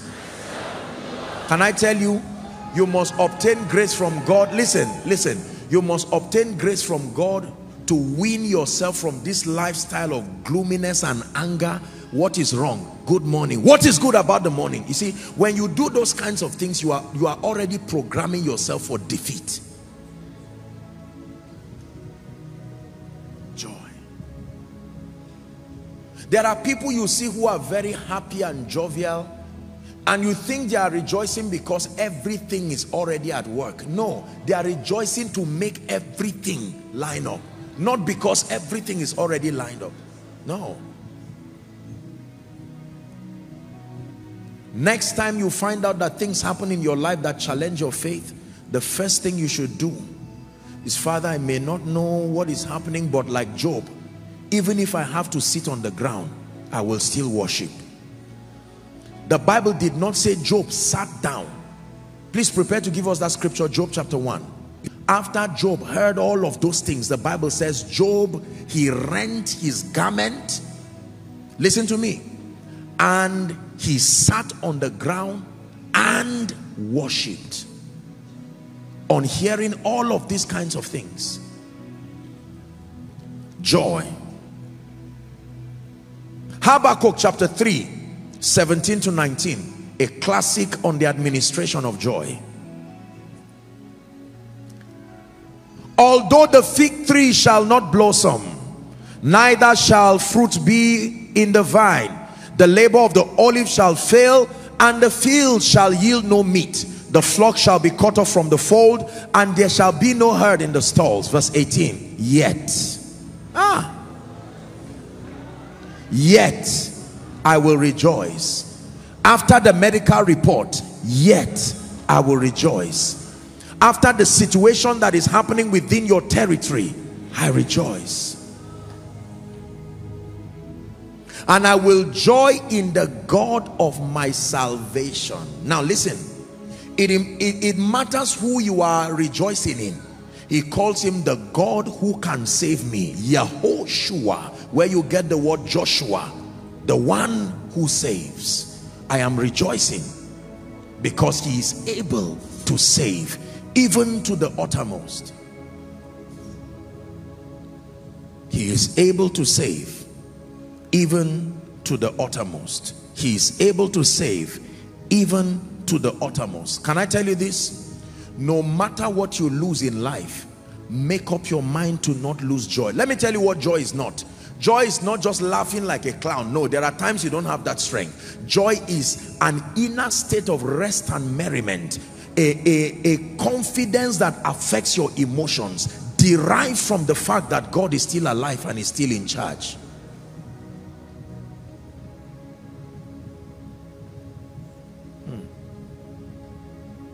There are times that it may not make sense. You may not see wind and you may not see rain but you must maintain your joy.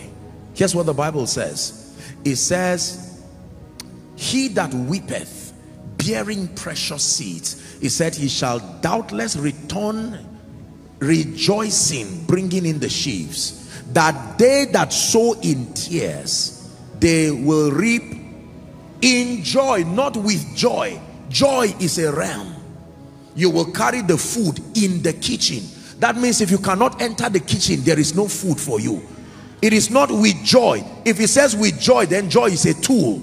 In joy means it is a realm you enter to guarantee your harvest.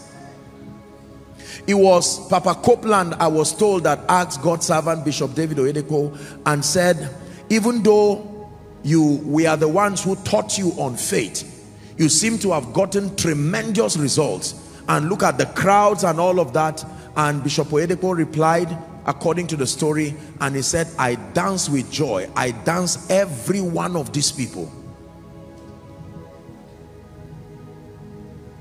There are times when it does not make sense. You will need to go to the shop alone and begin to give God glory in an empty shop that has nothing there.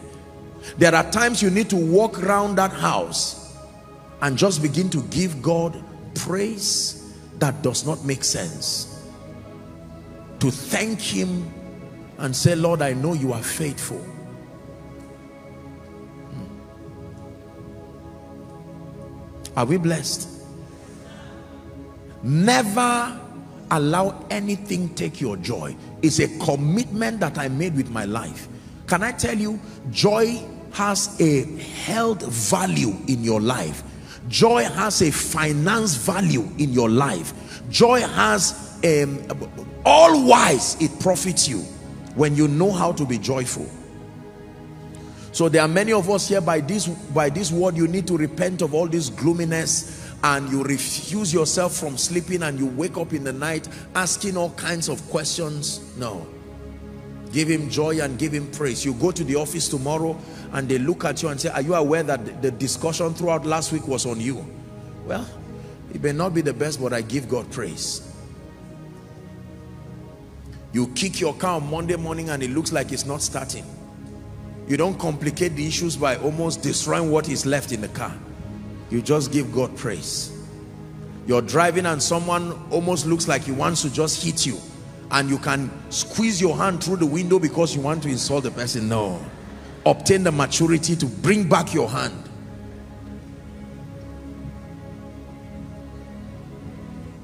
I choose to rejoice. I choose to live a life of joy. Prophesy to yourself. It's a choice. I choose to live a life of joy. Someone is speaking. Principalities and powers are hearing you. I choose to live a life of joy. Let your situations and circumstances hear you. Is a choice that in the name of Jesus here in Abuja in the name of Jesus across Europe everywhere in ministry in business in my pursuit in my career I choose. Joy. Joy. Go ahead and pray just one minute before we continue.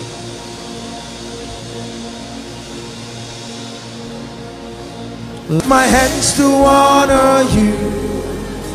Because your word is true. I lift my hands to honor your word is true that I will have my baby. your word is true. That I am the head and not the tail. Your word is true that I am above and not beneath because your word is true I will sing. So when I lift my hands, it's not because I know the answer. I know his word is true.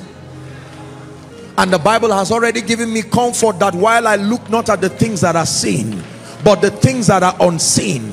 He already tells me the things that are seen are temporal, but the things that are unseen. Someone needs to begin to look at things that are unseen. The greatness that is before you. The anointing and the mantle that is at the other side. The other side of your tears. The other side of your pain. Man of God do not give up in ministry. It looks like things are not working but you are still called. The hand of God is upon you. Let no man despise the grace and the gifting of God upon your life let no man despise your ministry.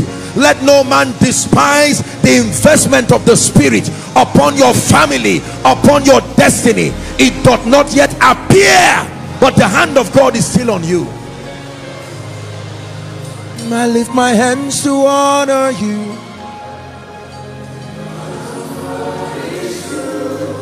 I lift my hands to honor you hallelujah.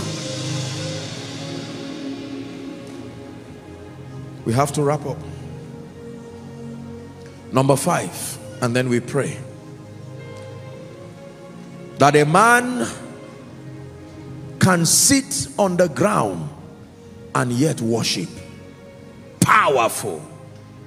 You would think the only way to worship is to lift your hands and jump but it is possible to also sit on the ground even in shame even in pain even in seeming defeat and yet worship.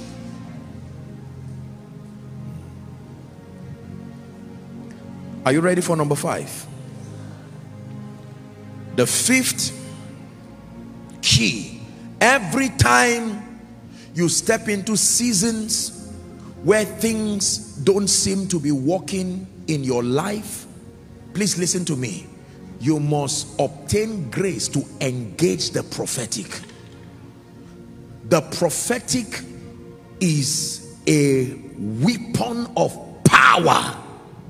When it is administered within the boundary of scripture that every time you are in seasons that look like the day of adversity you will need the prophetic they are taken for a prey and none say it restore there has to be a voice other than you that can speak restoration. There has to be a voice other than you that can speak lifting. Are we together now? When Samaria was in decadence, hunger, we've shared it here. Women were eating their children. Then came this strange prophet of God and he made a declaration by the Spirit by this time tomorrow. Moses came and held his staff and told the nation of Israel, God has seen your pain for these years and he has sent me as a deliverer. All you need to do is to believe God and to believe me. I am going to Pharaoh and he stood before Pharaoh. He said, Pharaoh, time up. Thus saith the Lord God of the Hebrews, let my people go when the plagues began to come, Pharaoh said, no, no, no, no, no. This is too much. Let the men go. Leave the women and the children. Moses said, no way. We are going plus our cattle, everything.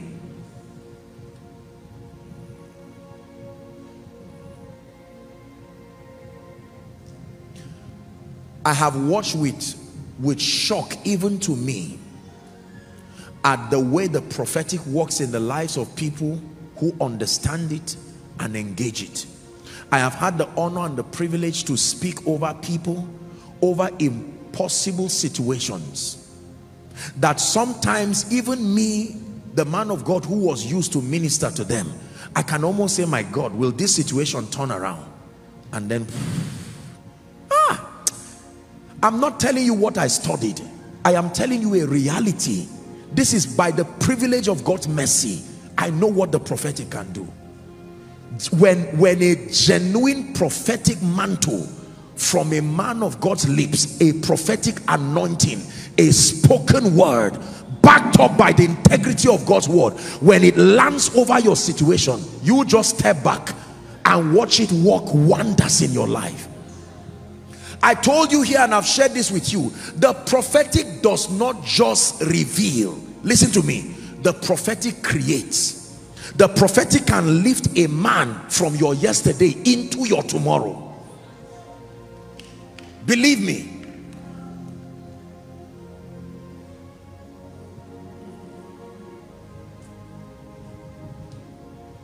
And you have come tonight to encounter that dimension of the prophetic. This meeting will not be over until that word comes upon your life. Listen to me. Because to live an overcoming life God himself designed these principles. The prophetic. Engaged with understanding. And by a prophet the Lord God brought Israel out of Egypt. And by a prophet were they preserved. It says believe in the Lord your God so shall you be established. I, I, I say this with, with every sense of respect and, and I don't mean to brag, please forgive me. But there is a level of arrogance that is in the world today that will keep punishing many people and they will keep going through needless pain because of the arrogance of neglecting the prophetic. In as much as I know, as I would always observe, that mistakes have been made here and there in the body of Christ. People have, you know, mismanaged the prophetic. But can I tell you, it is an error if you find yourself ignoring the prophetic in one night i mean literal 24 hour one night god is able to through the vehicle of the prophetic lift people. Listen please come. Let me use one person to show you how the prophetic works. Anyone come. You stand here. There are times where the normal way to climb this is by walking. Climb up. This is how to walk normally. Is that true? Please go back there are times that there can be challenges right here. And you are attempting to climb. Now please take one step and stay here the destinies that you climb right here but there are all kinds of things stopping you. At that point hold my hands. The prophetic are you ready to jump? Prophetic does not just take you one step. It will stand and push you like this. Are we together now? Thank you the prophetic does not follow the sequence of the natural course of things. No, it is a dimension outsourced as a system of advantage.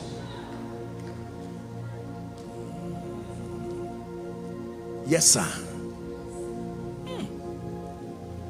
the mysteries of the kingdom that can help men to rise. One prophetic word over your business. One prophetic word over your ministry. You can be fasting and praying by yourself. God is not stupid to have given gifts in the body. This is where sometimes believers, we have to be careful. You know, we have this mindset, oh, look, don't worry about you. You just love God alone and know him for yourself. Listen to me. God himself set in motion these, these offices in the body of Christ. It is an advantage for the saints. Even when Paul encountered Jesus, he still went back to the body for the continuity of his growth. I was so honored and blessed when you know his excellency the ambassador came and he was just jumping and celebrating jesus. And in as much as it looked very funny and childlike i said this man will never remain at the same level. He has found a key that many people do not have the maturity to find when the ark was being restored david was dancing and rejoicing and thanking god. And his unwise wife came and said no no no this is not royalty. You are bringing shame to yourself and, and dishonor. And david said i am i am he told saul's daughter. He says i am rejoicing before the lord who took the kingdom from your father and gave me so that he will not now take it from me and give someone else the bible says god had the rubbish she was saying and she died barren can i tell you this I'm not indoctrinating you negatively. You are intelligent people. There is a way the prophetic can be administered that makes people behave like animals. That's not what I'm teaching you here. But I am telling you this. If you have the faith to receive the prophetic, ladies and gentlemen, your life can literally change overnight. It's true.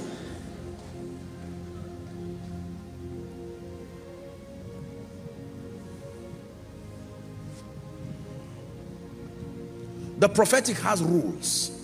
The first rule is faith. Faith in God and faith in the vessel. Rule number two, honor. Honor to God and honor to the vessel. These are the rules of the prophetic. It does not just work arbitrarily. No. No. Please help them. The prophetic has rules. Faith in God and faith in the vessel he will use. Please help them. I'm, I'm seeing angelic activities in this place now. Just help them please. Just help them. You know when you begin to teach like this the bible calls the angels that they walk in partnership with the word to confirm the words of his servant. So that's what is happening right now. I'm seeing several angelic activities. Just help people because people are already receiving all kinds of impartations I will not be afraid of ten thousands of people that set themselves against me round about. I lay me down and I slept. I waked for the Lord sustained me. But thou, O Lord, art a shield for me my glory, you lift my head. But thou, O Lord, art a shield for me. My glory, the lifter up of my head. Hallelujah. I remember one time a gentleman who was, I think he was that uh, something happened and they relieved him from his job and when he came and met me, usually I would just pray and tell him, trust God for another job. And the Holy Spirit spoke to me, he said, prophesy to him that you are making decrees that he is going back to that job. And it was a very good job. Uh, when I said it, I could see the guy saying, sir, you don't know this is a XYZ oil company. I said, what is my business? Who among them can create oil? Are they not mining it? The one who created the oil is now making a decree. Listen I lie not. Probably the person is even here or maybe he's listening. It was within three days three days. And it was a very very strange thing that one of the executive members who is a Christian a member of a, a popular church in this nation had a dream. And in that dream a voice spoke to him and said bring back this young boy that this young boy is an asset. He got up met with his fellow executives. When they called him and he called me i said next time enjoy your testimony but next time do not be unwise. Not every man of god is a herbalist. And not everybody is stupid.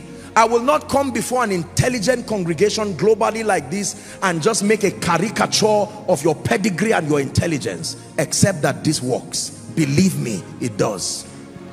The prophetic can change literally 180 degrees the tides of someone's life. But the challenge is that most people just say amen but they don't believe. Truly they don't. Thank you for lifting. Thank you for lifting. Thank you for lifting my head. Ah. Thank you for lifting Thank you for lifting. Thank you for lifting my head. I'm about to pray for you now and declare that this prophetic dimension you must experience it this night. There has to be a word that will come because many of you you are going through all kinds of seasons right now and I want you to know that there are weapons in this kingdom that can help us live the overcomer's life. We are overcomers. It is true.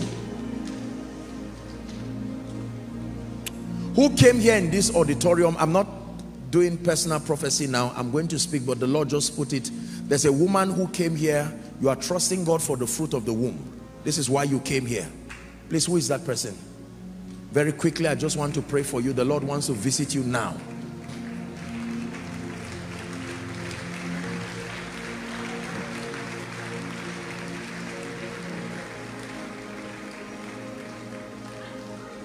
Help her.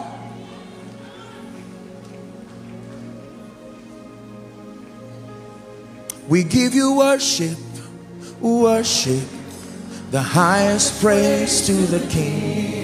We give you worship, worship, the highest praise to the King. We give you the highest, highest praise to the King. We give you the loudest, yeah. loudest praise to the King. We lift up holy hands. We lift up holy hands. We give you, we give you, we give you the highest praise.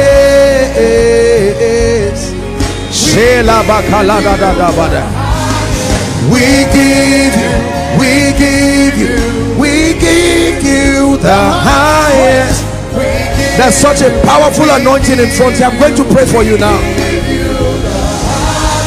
Muimaka, Muimaka, Muimaka.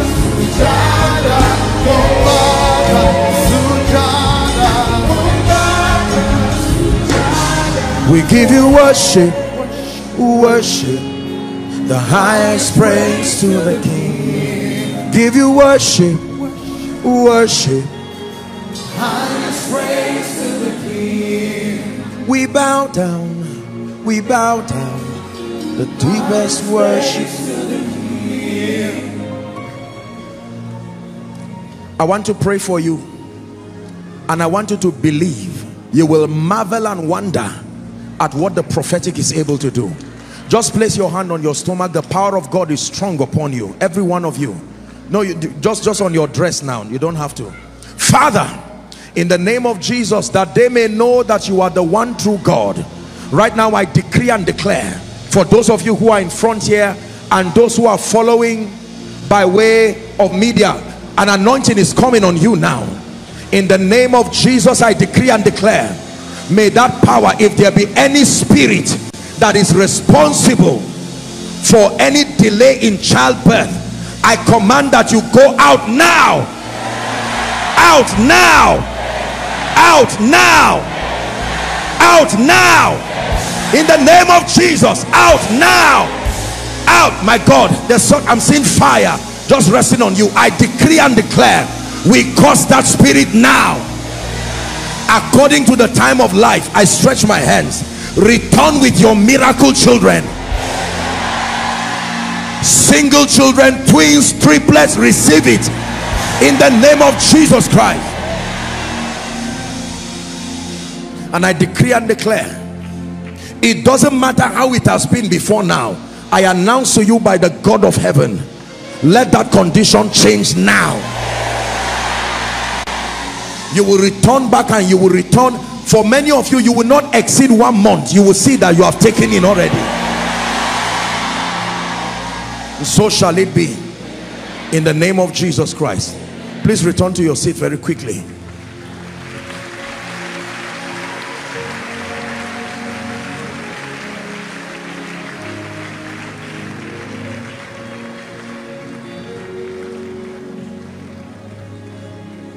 hallelujah. If you are in business here just lift your hands. I just sense that anointing. Like really you are not just that you are doing by the way but you are really into this thing. I want to pray for you. I want you to believe god. Father please agree with me as i declare. You will be surprised. Because there are some of you things have been tied down. This is what i see in the realm of the spirit. There are doors that should have opened but I'm seeing powers tying it down. I decree and declare by the power of the Holy Ghost and by the ministry of the prophetic between now and the next one month I speak to you by the Spirit of God. Return with strange testimonies. Return with strange test help them please. Return with strange testimonies. Can someone help this woman please? Return with strange testimonies in the name of Jesus Christ. Hear me. Every financial door that has refused to open we have been commanded to bless. Therefore I declare in addition to your diligence in addition to your value in addition to the products and the services that you're involved with I place this prophetic edge upon the works of your hands. Go and prosper. Go and prosper. Go and prosper go and prosper.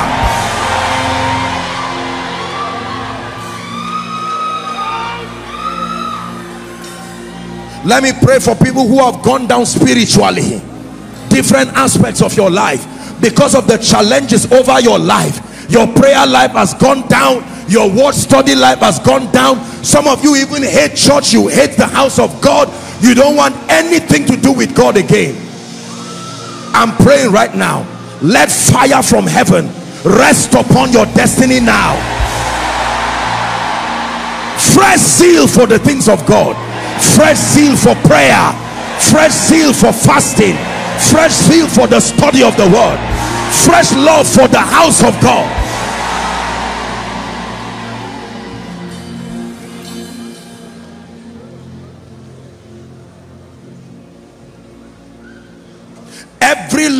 long-standing issue that has refused to give way in your life that has lingered more than necessary. In the name of Jesus this night we bring it to an end. This night we bring it to an end.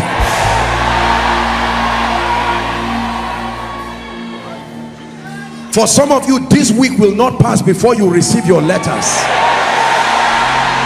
New season for you and let me pray for those who are in ministry. Now is not the time to be discouraged.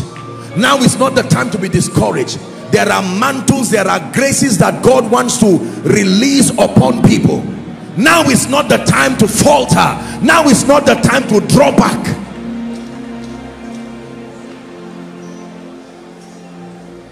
I decree and declare over your church over your ministry over your prayer platform over whatever platform God is using to help you serve his purposes I decree and declare may grace rest upon it now.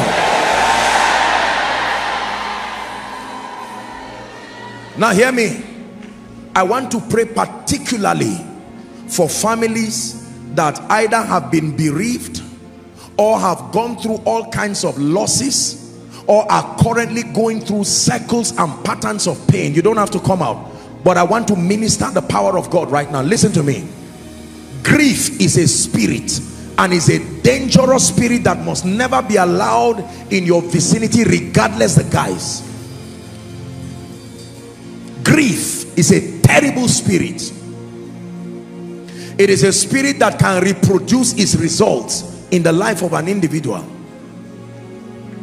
I want to speak to you now for everyone who has gone through or is going through situations of pain many of you delay in your expectations. Many of you persecutions criticisms all kinds of tribulations. Many of you sorrow upon sorrow. But i want to speak to you now. Let hope let it rise darkness trembles in your holy light. Ah. Hey, let hope rise tonight. Darkness trembles in your holy light. now I decree and declare for all those who have been bereaved all those who are being bereaved all those who are going through all kinds of challenges inexplainable many of them find the peace of God now. Father you who is the prince of peace administer the peace that surpasses all understanding. In the name of Jesus Christ. And let me echo the voice of the spirit to you. It shall be for you for a testimony it shall be for you for a testimony. It shall be for you for a testimony. It shall be for you for a testimony. Hear me. Joseph looked at his brothers and said while you meant it for evil that God is able to turn it for good I decree again one more time it shall be for you for a testimony. Hear me the final prayer tonight before I make the altar call is the staying power to go through these seasons. The Bible says if you turn aside in the day of battle your strength is small. For some of you the word of the Lord for you tonight is hold on. You have come too far to go back. Hold on. God sent you to Abuja. You are about to relocate and go away and saying I'm tired of this city. I've lived a frustrated life. God is ministering to you. Hold on. I'm still walking. Allow me to finish what I am doing. God sent you to ministry and it looks like nothing is working. Help this woman. Hold on. God is ministering to you. Hold on. Hold on. God told you to do what you are doing and you are still failing in it. Hold on. Hold on he's dependable. You can trust him. Man of God just because you have not prophesied does not mean you are not a prophet.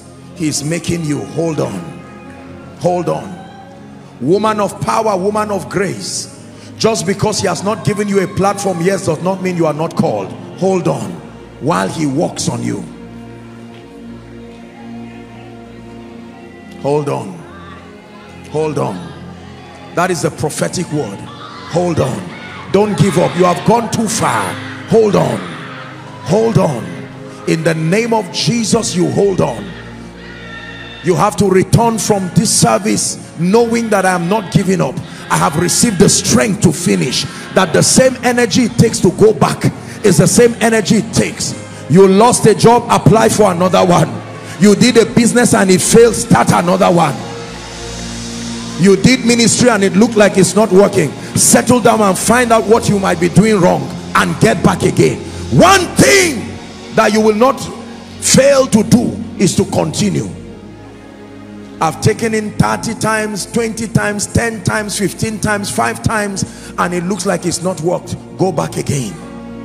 Again is a powerful word. Again means hope. Again means God is not done again means there is no full stop. And Adam knew his wife again. And they who fell yesterday rose again.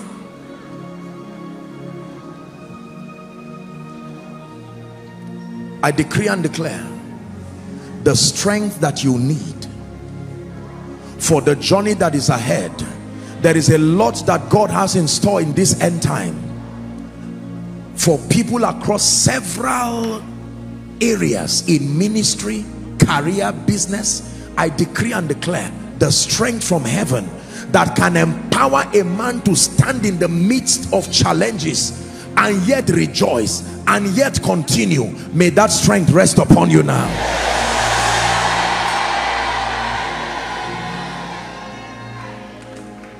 In the name of Jesus Christ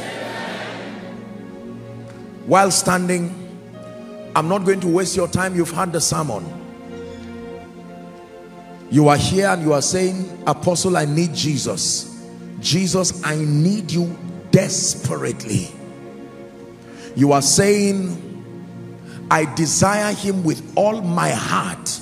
I desire to love him with everything. I'm tired of playing church tired of playing religion. I truly want you wherever you are or you are saying apostle I want to rededicate my life. I, I, I can't call the name of what I am doing the faith walk I need to start afresh. Wherever you are all the overflows especially inside and the galleries I'm going to count one to five very quickly. We are out of time. I want you to run and come and stand before Jesus. Now it's not compulsory. You can choose to stay back but the Lord is giving you an opportunity now. Remember that decisions decide destiny. Come come running come running come running to the mercy seat.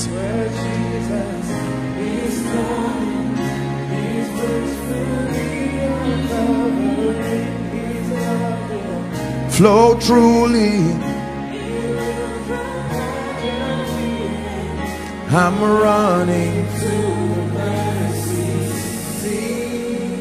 run to Jesus run to Jesus. Everything starts with him. Mm. everything. Hallelujah.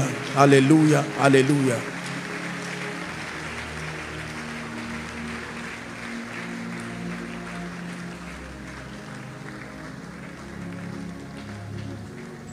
Three. I'm counting to five. Let's minimize movement so that we honor this altar call now please look at me and all those who are responding to this call from your homes, from wherever it is. We're here because we believe in Jesus. He is the Savior. He is the Lord, the author of wisdom, the one who empowers everything that has been taught here. For those of you who have come out here, I celebrate and truly congratulate you for making this noble decision. Rebels don't come to Jesus, they run away from him. That you have come to him is proof that you respect his lordship.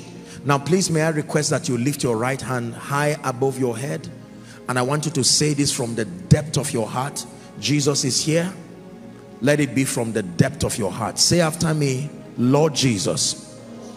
Mean it from your heart whether you're rededicating your life or making this decision the first time go ahead. Say lord jesus tonight i declare that i believe in you I believe that you are Savior. I believe that you are Redeemer. I decree and declare based on the authority of scripture that from today you are my Savior, you are my Lord, you are my King.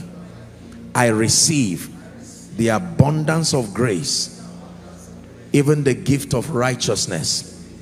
I receive eternal life into my spirit I declare that from today till forever I am a child of God washed by the blood of the lamb a recipient of the life of God. Keep your hands lifted. Father thank you for these blessed hands and these precious people who have come to declare your lordship over their lives by the authority of scripture, I declare your sins forgiven. And I declare over you that the power of sin, Satan, hell, and the grave is broken over your life. in the name of Jesus. And now I commend you to God and to the word of his grace that is able to build you up and to give you an inheritance among them that are sanctified. I declare that by the ministry of the word and the ministry of the spirit, you will continue to grow from glory to glory in the name of Jesus Christ. Amen and amen. Thank you for this decision. Um, I want you to follow the counselors. They are waving the placard please just follow them they'll have a minute or two with you and you'll be back to your seat let's honor and celebrate them let's honor and celebrate them thank you hallelujah praise the name of the lord Hello, beloved in Christ.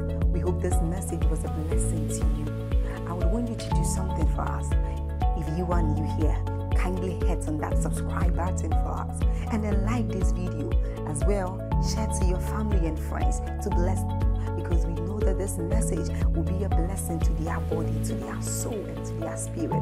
We would need you to do one thing for us too. Tell us in the comment section where you were watching us from, and if you've got any testimony for us, kindly share with us. Thank you for watching.